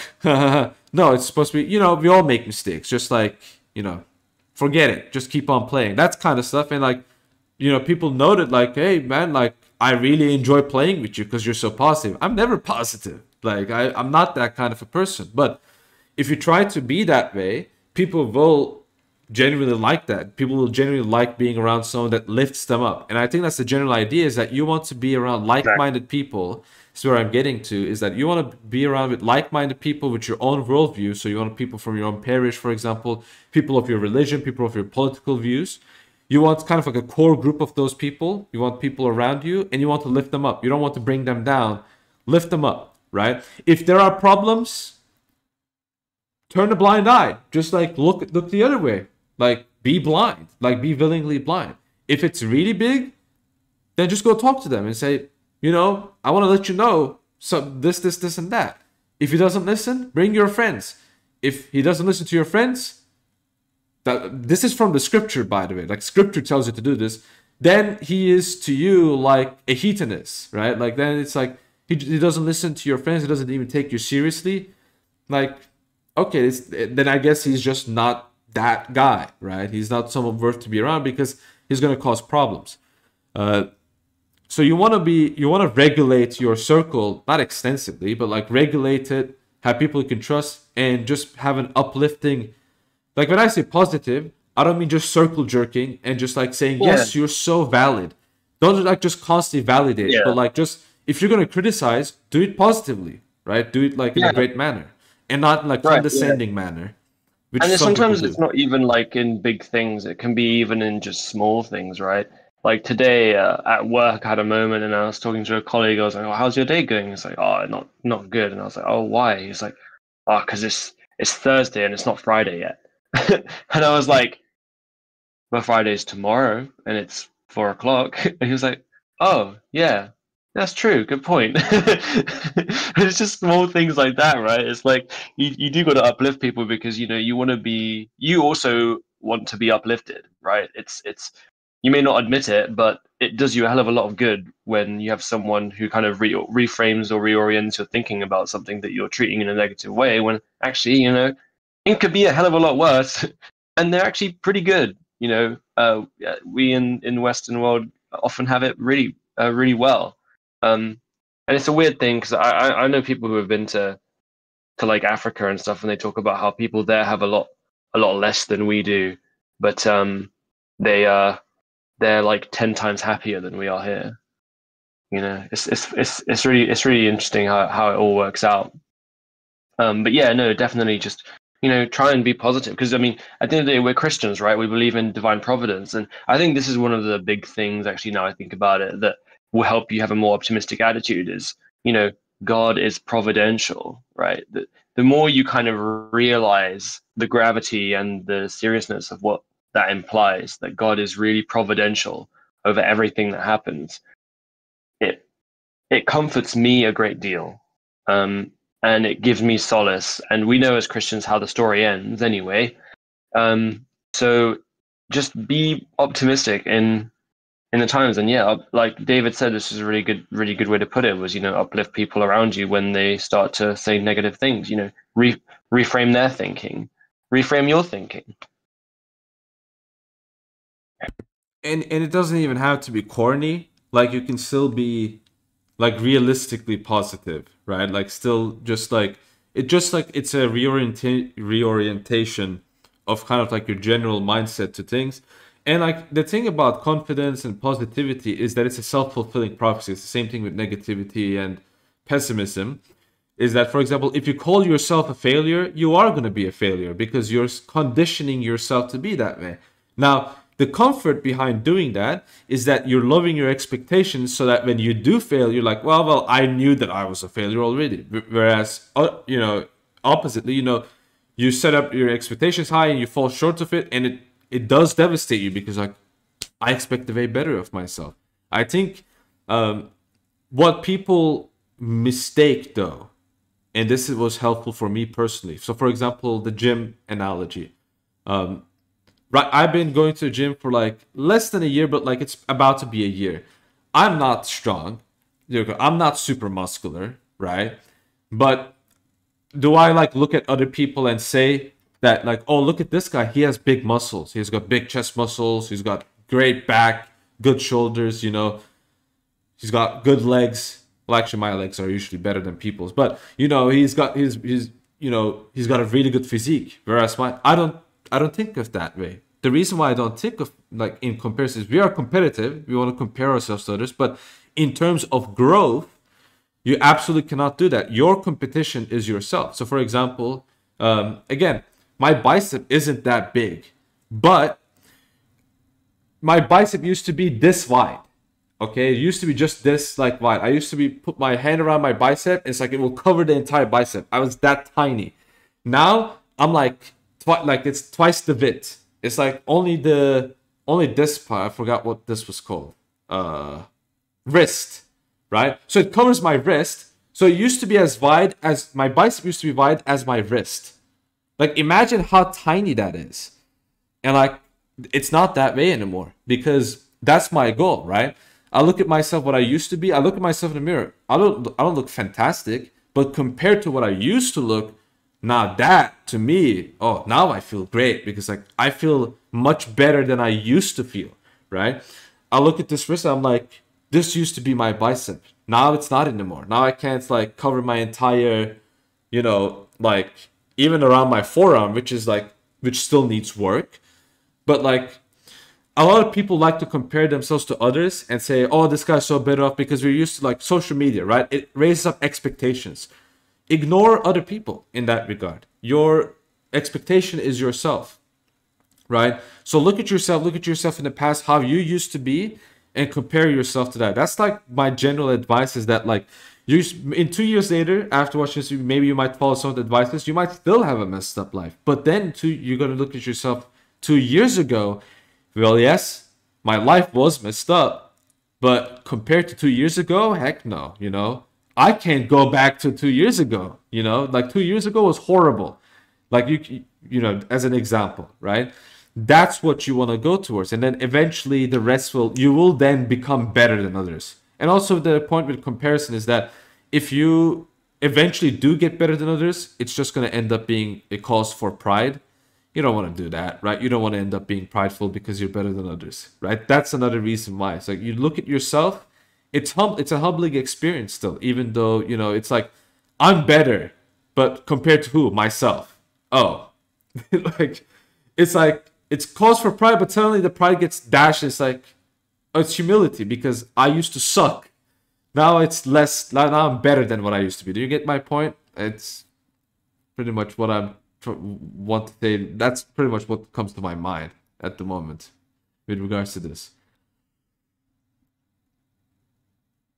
i think another thing with respect to this humility idea that you're kind of talking about is just realizing that you probably don't know everything mm-hmm. like um i mean this is a very basic thing people talk about but just like having some kind of epistemic humility where instead of if someone tells you something that grates or rubs against what you believe um, unless it's something that's just so obviously you know wrong or demonic. Um, just kind of like hold for a moment and just think about it. Like just mull on it for a bit. Do you know what I mean? You don't need to just immediately push back against anything that you just disagree with in your head. You know um have certain have a certain amount of open-mindedness right? Because a lot of the stuff that i started doing i probably didn't want to do i probably had a great with it um, but they were you know changes for the good. I mean how would i have converted from atheism? So yeah i mean it's I, I think that's a good thing. It's just kind of like there's a lot of knowledge out there. And especially if you're in your early 20s you're you're like me, you know, you you you actually don't have a lot of life experience, and that's why I'm saying again, what I'm saying here is just things that have been helpful to me as an individual. You know, I'm not telling you how to live your life, right? I'm not I'm not saying do this, uh, except for some obvious things like you know quit porn. But um, yeah, um, so I think those are th- that's an important thing is just to realize that you there's a lot of knowledge out there you're gonna you're gonna learn over time, and you're not gonna have it all right now. And so just kind of take your time with things, mull over things, even if you don't agree with them. Um, yeah. Don't don't cause some kind of huge strife or conflict over a over a disagreement. Mm-hmm. You know? Yeah, that's that's definitely a huge thing. I think this is the example of why like these like you get a circle, it's full of negative people. Eventually, you get a point of disagreement. What do these people do? Well, they don't they're not used to be constructed. They don't ha- the, that friendship does not have that culture. So if you have a problem with someone, what you usually do is you backbite them, right? And like I kind of want to give you like a litmus test, right? Because I know that there are some people that are like watching the stream with like bad intentions. There's probably some people watching the stream to like find something bad that I say to like use it against me. It's you know, it's like a reality of like everyone goes through this. If they're making content on YouTube, I'm not special in this regard. But like if you're one of those people, you do that. Like you watch someone to like catch them at a bad moment, so you can use them against it, which like on friends group, etc. I'll like you need to fix your life. Like you are a massive loser. Like look at evaluate yourself. What are you doing? You are spending your valuable time instead of doing something good what are you doing? You're spending your valuable time trying to bring someone else down who you haven't really even met, right? And I don't consider online meeting a real meeting. Maybe if you maybe you did meet that person, but even then it's like, you know, what are we told? You know, we're supposed to pray for enemies, we're supposed to forgive them. Even if they don't forgive or pray for us, we're supposed to pray for enemies and forgive them. And there's, you know, this idea of like, oh, you know, those are high standards. I shouldn't expect, you know, like, okay, like no one's going to condemn you for not following them, but it's still like you're still going to accept that these are things that you have to follow, right? Um, a lot of people online have this like crazy idea of like you know the e-celeb stuff, right? And like, I like people need to cut that out a little bit as well. Like you know, e-celebs are like you know, like don't be like an E-Celeb fan, right? Like that's basically what I'm trying to get at is that like my what I give to you is just like my view on the world, right? Like you can meet me. It's like the let me give you the example of Robert Pattinson's uh story. Like you know that you know that story from Robert Pattinson where like someone's stalking him and uh, a girl stalking him and like he ends up saying oh well i'm bored anyway so i'm gonna take this girl on a date and he just complains about his life the whole time and then the girl never shows up again right? Like the, the point is a lot of these people they're like popular that you really like or follow respect. A lot of them really are just like that. That's just social media. Social media exalts people. It makes everyone look really good because they only post what's the best part of their lives but like you don't see the real them. And when you see the real them it's still social media right? And especially in orthodoxy sometimes people think that the bad points of someone's life is actually the good point of someone's life because we you know we agree that humility is a good virtue etc but suddenly humility gets in, inverted and it becomes the opposite. So it's still like the best moment of your life is like your worst moment of life. And it just it just becomes insane like right and you know, if you haven't, if you don't have anything else to add, I think we can get into like the dating side of things. I hate talking about this kind of stuff, but uh, because some people are kind of like mentioning that in a live chat. Uh, you know, um, how to. I I don't really feel like I'm in a position to give a lot of. I mean, I'm in a relationship, but I don't feel like I have a lot of. I'm in a position to give a. Oh, I'm not. I'm not saying let's give dating advice. I'm saying like let's do yeah. the opposite like how to like why you shouldn't think of dating for example. That's basically like how i see usually. It's like a lot well, of there's people... two approaches right? There's like yeah. the there's like the approach where you kind of wait until you're older and you've established yourself and you've got a lot more control over things and a lot more to kind of offer in a relationship right? And then the idea is that you will just basically find someone. Uh, and the other view is that it's a worthy endeavor to try and find someone in order to get married young and then grow together from that point. Um, I lean more towards the latter. I don't think there's anything wrong with either way. Um, but maybe there's other ways too. I, I, guess that's just, I don't really have an awful lot yeah. to say. Yeah, yeah, that's a good thing because, like, what people usually expect, like one of the things they do online, um, is like they're socially autistic, but they don't look at the fact that they don't have friends. They're like, why don't I have a girlfriend? I need a girlfriend. And so they like look into these PUAs and spiritual online daddies and things like that to like try to get themselves a girl and stuff like that. My I want to offer a very different perspective. Um, I think that if you think if you have like priorities, like list like 10 priorities in your mind, and like one of them is dating, take that off and replace it with something else. That's basically like my perspective because um, I want to give you an analogy of like again the RPG analogy. Let's say you're playing an RPG game, your party is like all level 10, and like there's a boss battle. Think of the think of dating a girl as that boss battle. It's really not that big of a deal, but for the sake of example, it's it's a level 50, right? You need to normally you're supposed to grind. So you're supposed to work, you know, find a job, make money, fix your appearance, socialize, you know, you're supposed to grind and level up.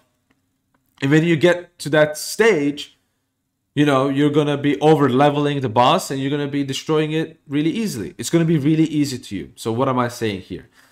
Uh, if you, you know, fix the basic problems in your life in terms of socialization, in terms of your status, in terms of your money, in terms of your looks. I'm not saying that these are not genetic. In fact, all of these things I argue are primarily genetic, but there's still things that you can do something about it. And and I want to I want to touch that later on, but uh, you you work on these things, and then that boss is going to be really easy. It's just like how you usually contact your friends. You you you meet up with a girl, you know, maybe she's in your friends group, and you basically pull her in a one-on-one conversation. Say, hey, you know, let's meet. You know, let's meet with each other together.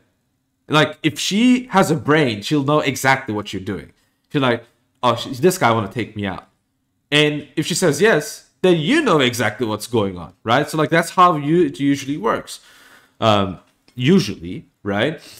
And then like just being straightforward is like the simplest way so that you don't get these like weird situations. Uh, but what people usually do, here's what people usually do is that they go on dating apps, they try to DM e girls on Discord and social media on Twitter, and they just try to do it over and over and over and over again.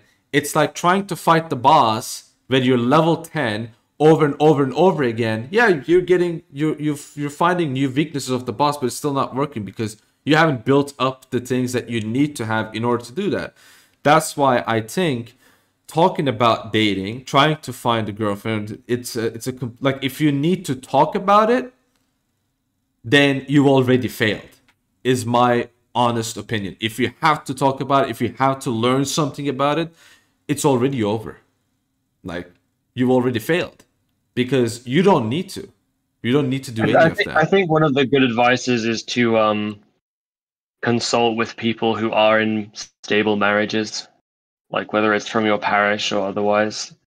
You know, if you want to have an insight into relationship, I think that's probably one of the best places to go. Um, because I think having a relationship is one thing, but then being married seems to be something that's completely different from what I've observed. Um, it introduces just an immense number of challenges that weren't there previously. Um, so yeah, I think um, if you are going through this process of discerning between, you know, like being unmarried and being married, I think that's the that's one of the best things to do. I think having interactions with married people has helped me have an insight into how I would how, how I think I'd want to, you know, end up. Whether I'd like Yeah. that. Yeah, definitely. I mean, a lot of people don't like the boomer advice, but like the spirit of boomer advice, I 100% agree with it. It's just like the application, they just because they they don't live in the same world, they just don't like know what's what are the challenges, right? Um so you might not get good advice, but you might still get something good out of it. Um in terms of yeah like know from like stable marriages and people that have stable marriages. And you mentioned family. I i can't believe how we didn't mention this. Fix your problems with your family. If you can't if if it feels awkward to talk with your father or your mother just talk to them right? Uh i have i know a guy not a friend but i know a guy and um i and i know a, and, and i know a girl and uh the I'll, gi- I'll give the example of the guy. Uh, I saw him trying to talk like difficult, like these like no no conversations that are divisive, that are important, right? Like things I talk about in my channel. He's trying to talk to his mother, and like give like a you know long speech about etc. I do not think that's a good way to like mend relationships with your parents that's not gonna mend the relationship. So, uh, from my example, from my mother, uh, my family obviously know that I'm an Orthodox Christian. Um, they themselves, you know, I told them that I converted, and they themselves are like, we don't understand why, but you know, you're our son, we're gonna support you. Um, so of course, you know, thank them for that. I thank them for that. But like, you know, I don't talk about extends long things with my mother or father. For example, my dad, he's not receptive to the conversations because he has this like boomer mindset about these things. My mom, on the other hand, is more receptive, but she has like a vague respect, just respect everyone's beliefs kind of a view. So obviously, if I try to try to like convince them of the truth of Christianity in like the way I normally do, which I'm usually good at, it's gonna totally fail. I know that myself. I I don't even need to try it, right? Uh, but if I try to, for example, focus on living a Christian life, now that is going to have an effect on them. For example, some people think in that manner, right? They are they care more about how you conduct yourself than what you say, and that's another thing that I want to get into is you need to learn how to conduct yourself and how you can manifest who you are as a person. Not manifest in like the liberal meme understanding, but like manifest who you are as a person and conduct yourself in the best way that the other person can receive and understand it. Um, if you cannot conduct yourself well, you need to fix that. And again, I can't stress enough how much I see people just only the only thing they can talk about is like the very serious things. You gotta you gotta chillax, relax a little bit, like just ease it up, and like understand that there are things that are just lights that you can love in this world. Like just walking outside and saying, "Oh, butterfly." That can be a deep thing to say for that moment. Oh, a butterfly, you know, might have an effect on someone. But like you talk about something really deep to your parents, like, oh, so dad, in the fifth century there was this guy called Saint John Chrysostom. Like you know, like it's like, no, you don't do that way, right? Or the or this or that or, the, or according to Bible it says this only like when you're prompted to. That's usually like what I've learned from my priest is gen- the general rule is that do not talk about the faith unless you are prompted to. And Elder Cleopa, in fact, follows this rule. Uh, he preaches this rule in one of his books. He um, it was written about him. He was in a train ride with a bunch of communists, and he gave a massive apologetics lesson. Basically, told them how Christianity is true, but he only did that when he was prompted to, because they were like mockingly asking him questions about the faith, and he was like, "Well, you're asking me questions. I have to answer." Like you're leaving me with, with no choice. That's what you want to do. You want to just you want to have a good justification on what whatever you're doing to other people, so that they can't use these things against you, and they're like, oh, you know, he had to say it, and so I had to listen, and there's something behind it. You know, that that's that's an example. Um, can you check your DMs by the way on Discord? Okay. Um, also, I'd say um, another thing that would be important. This is kind of a tendent unrelated, but um, and you learn this quite early on in in your career, if you have a career, is to be assertive in the sense that not to just like lord over people, but to be able to say no, for example, to things like realizing your own um, self worth and feeling, you know, empowered to be able to say no if something if someone's being overbearing, or to um, kind of try and make things happen. I guess. Mm-hmm. Um, there's actually like um like a lot of career workplaces have like basically kind of like modules that you go through to learn these things. You know, um, to have to have this kind of assertiveness, um, and that's something that takes a lot of time to to develop as well. It's not it's not necessarily so easy for everyone. Mm-hmm. Yeah, and uh, mm, I was gonna also add. Well, I kind of forgot what I was gonna add, but uh, this kind of gets into. I, I also I really want to comment more on the kind of like dating stuff and like the source and the problems of it but uh, I think that will be fit for a different stream because uh, what I what I what I've learned at least today is kind of just like getting into you know these are the solutions that we can do. At the same time, for example, the way I can easily communicate is like when someone asks me a question, then I can like specifically think about that thing and like things come up in my mind. Whereas like generally speaking, it's a lot it's a lot more difficult. But um, Lewis, you want to wrap things up, or do you have anything else to add? Um, just one last thing about humility that I realized that I don't do enough is kind of remembering the last judgment. You know, like at some point in the future, there's gonna be like, you know, the revelation horn is gonna sound, and then you're not gonna be able to repent anymore. Like that's it. You know, yeah. done. You, you, it's just not repentance is just gonna like cease to be a live option.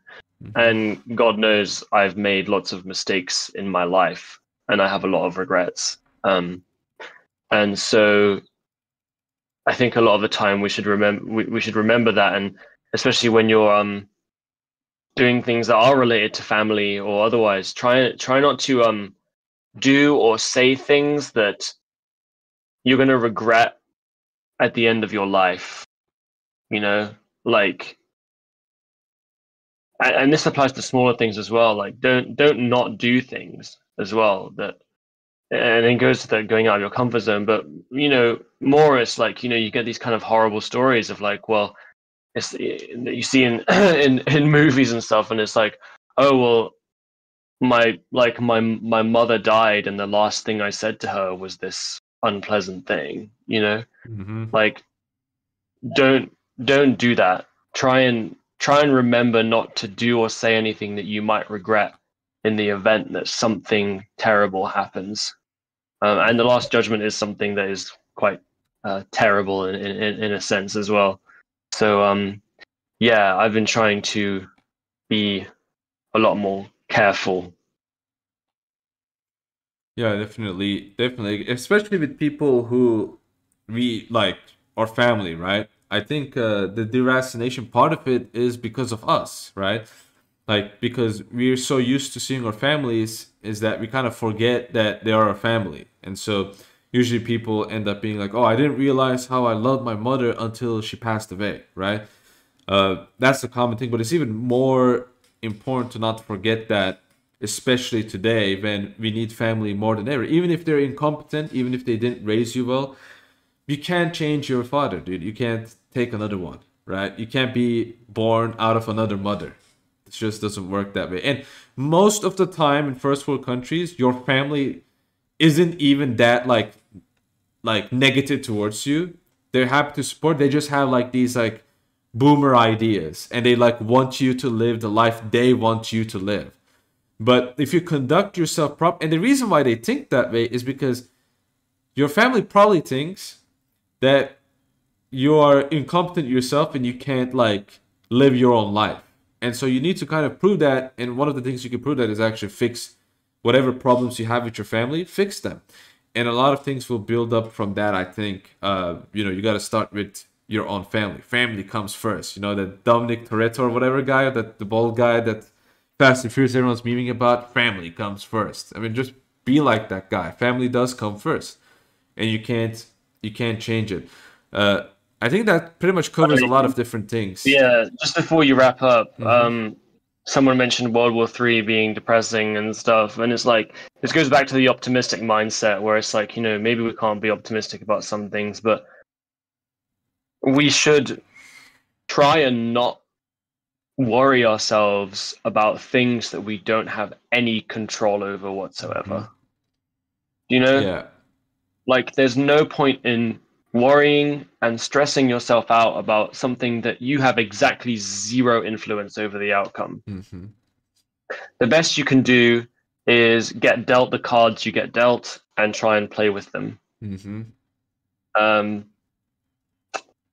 yeah, Yeah, this Um, idea that life has to be this specific way is a sickness. It life doesn't work that way. Oh, it has to be that way. You know, people have to respect me. This cannot happen to me, or or things like that. No, like that's just like okay. So there's a saying my dad has, but I don't want to translate because it's very very vulgar. But the point is like you. So you want you want everything to go your way? No, that's not that's not you know it's not going to be fun, right? You're not going to learn anything. You're not going to grow.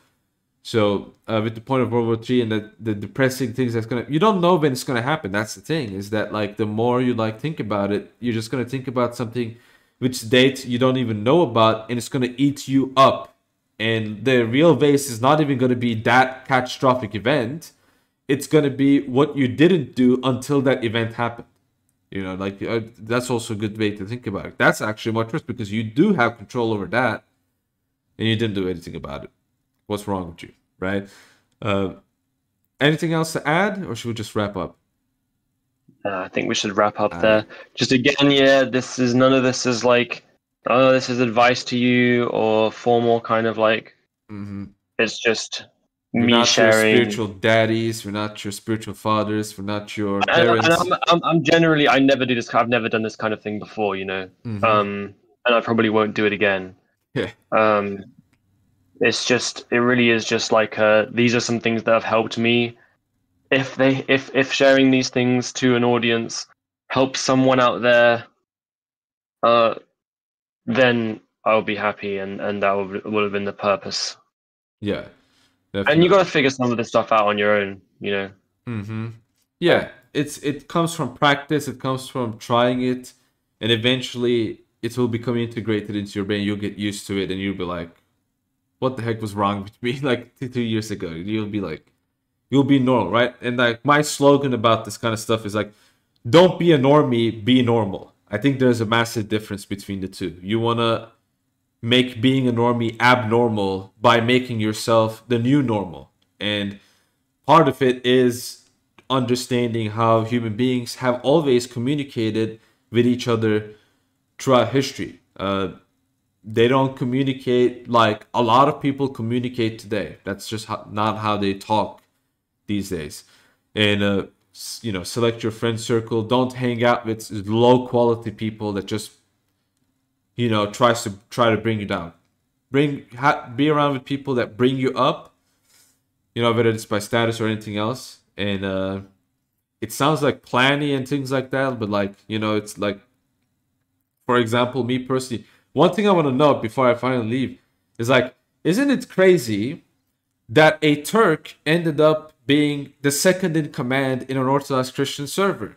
How did that happen? It's because we know how to deal with people and how to like get ourselves into these like it's just it's just in our in our culture for us like communicating with people and you know getting into positions of power like that i mean it's, it's not even a big deal it's like a discord man like it's i'm a discord janny right? Second in command. But it's still like it's still kind of like, you know, I still have some control over the biggest Orthodox Christian community and I I can decide to do something and it can influence the whole community, right? Uh, that's a significant thing. And as a Turk, you know, who like there are barely any Turks that are Orthodox Christian. How did that even happen? Why was it not just an American guy who did it? Because it's again, it's like something just talking with people, communicating with people, socializing, knowing what to say and what to not to say, understanding these things for us, it's these are normal things. So, you know, I didn't lick anyone's boots to like get to where I am at to for my channel. 90% of my videos, 95% of my videos are just solo, just me. It's just me talking to you. 5% of them, uh, 3% of them is Lewis, and 2% is other people. but uh, the point that I'm getting at is that uh, there are valuable lessons you can learn from different cultures on this. This sounds crazy, but there's valuable lessons you can learn from different cultures and see how they do things. And this is what's insane about Orthodox is that you have like Russians, Romanians, Serbians, etc. Learn from them because it's not a coincidence that the cradles are very social people and that they make you feel very welcome, right? It's not a coincidence that that's the thing that it's it's not a coincidence that the converts are the unusual people. It's not a coincidence right? These people know how to communicate. And so you can learn a little bit of things from them from this from these people and you know incorporate it into your life. That's the final thing yeah. i'll leave you off with. And i want to thank you all for listening to us ramble. Hopefully we could help you. Remember these are guidelines. This is not going to fix your life instantly. It's a long road. You're 20 years old. You're 20 something your life is not over. Okay, if you're 20 years old or like thereabouts, your life is not over. Stop acting like it is. thank you for watching. I'll see you.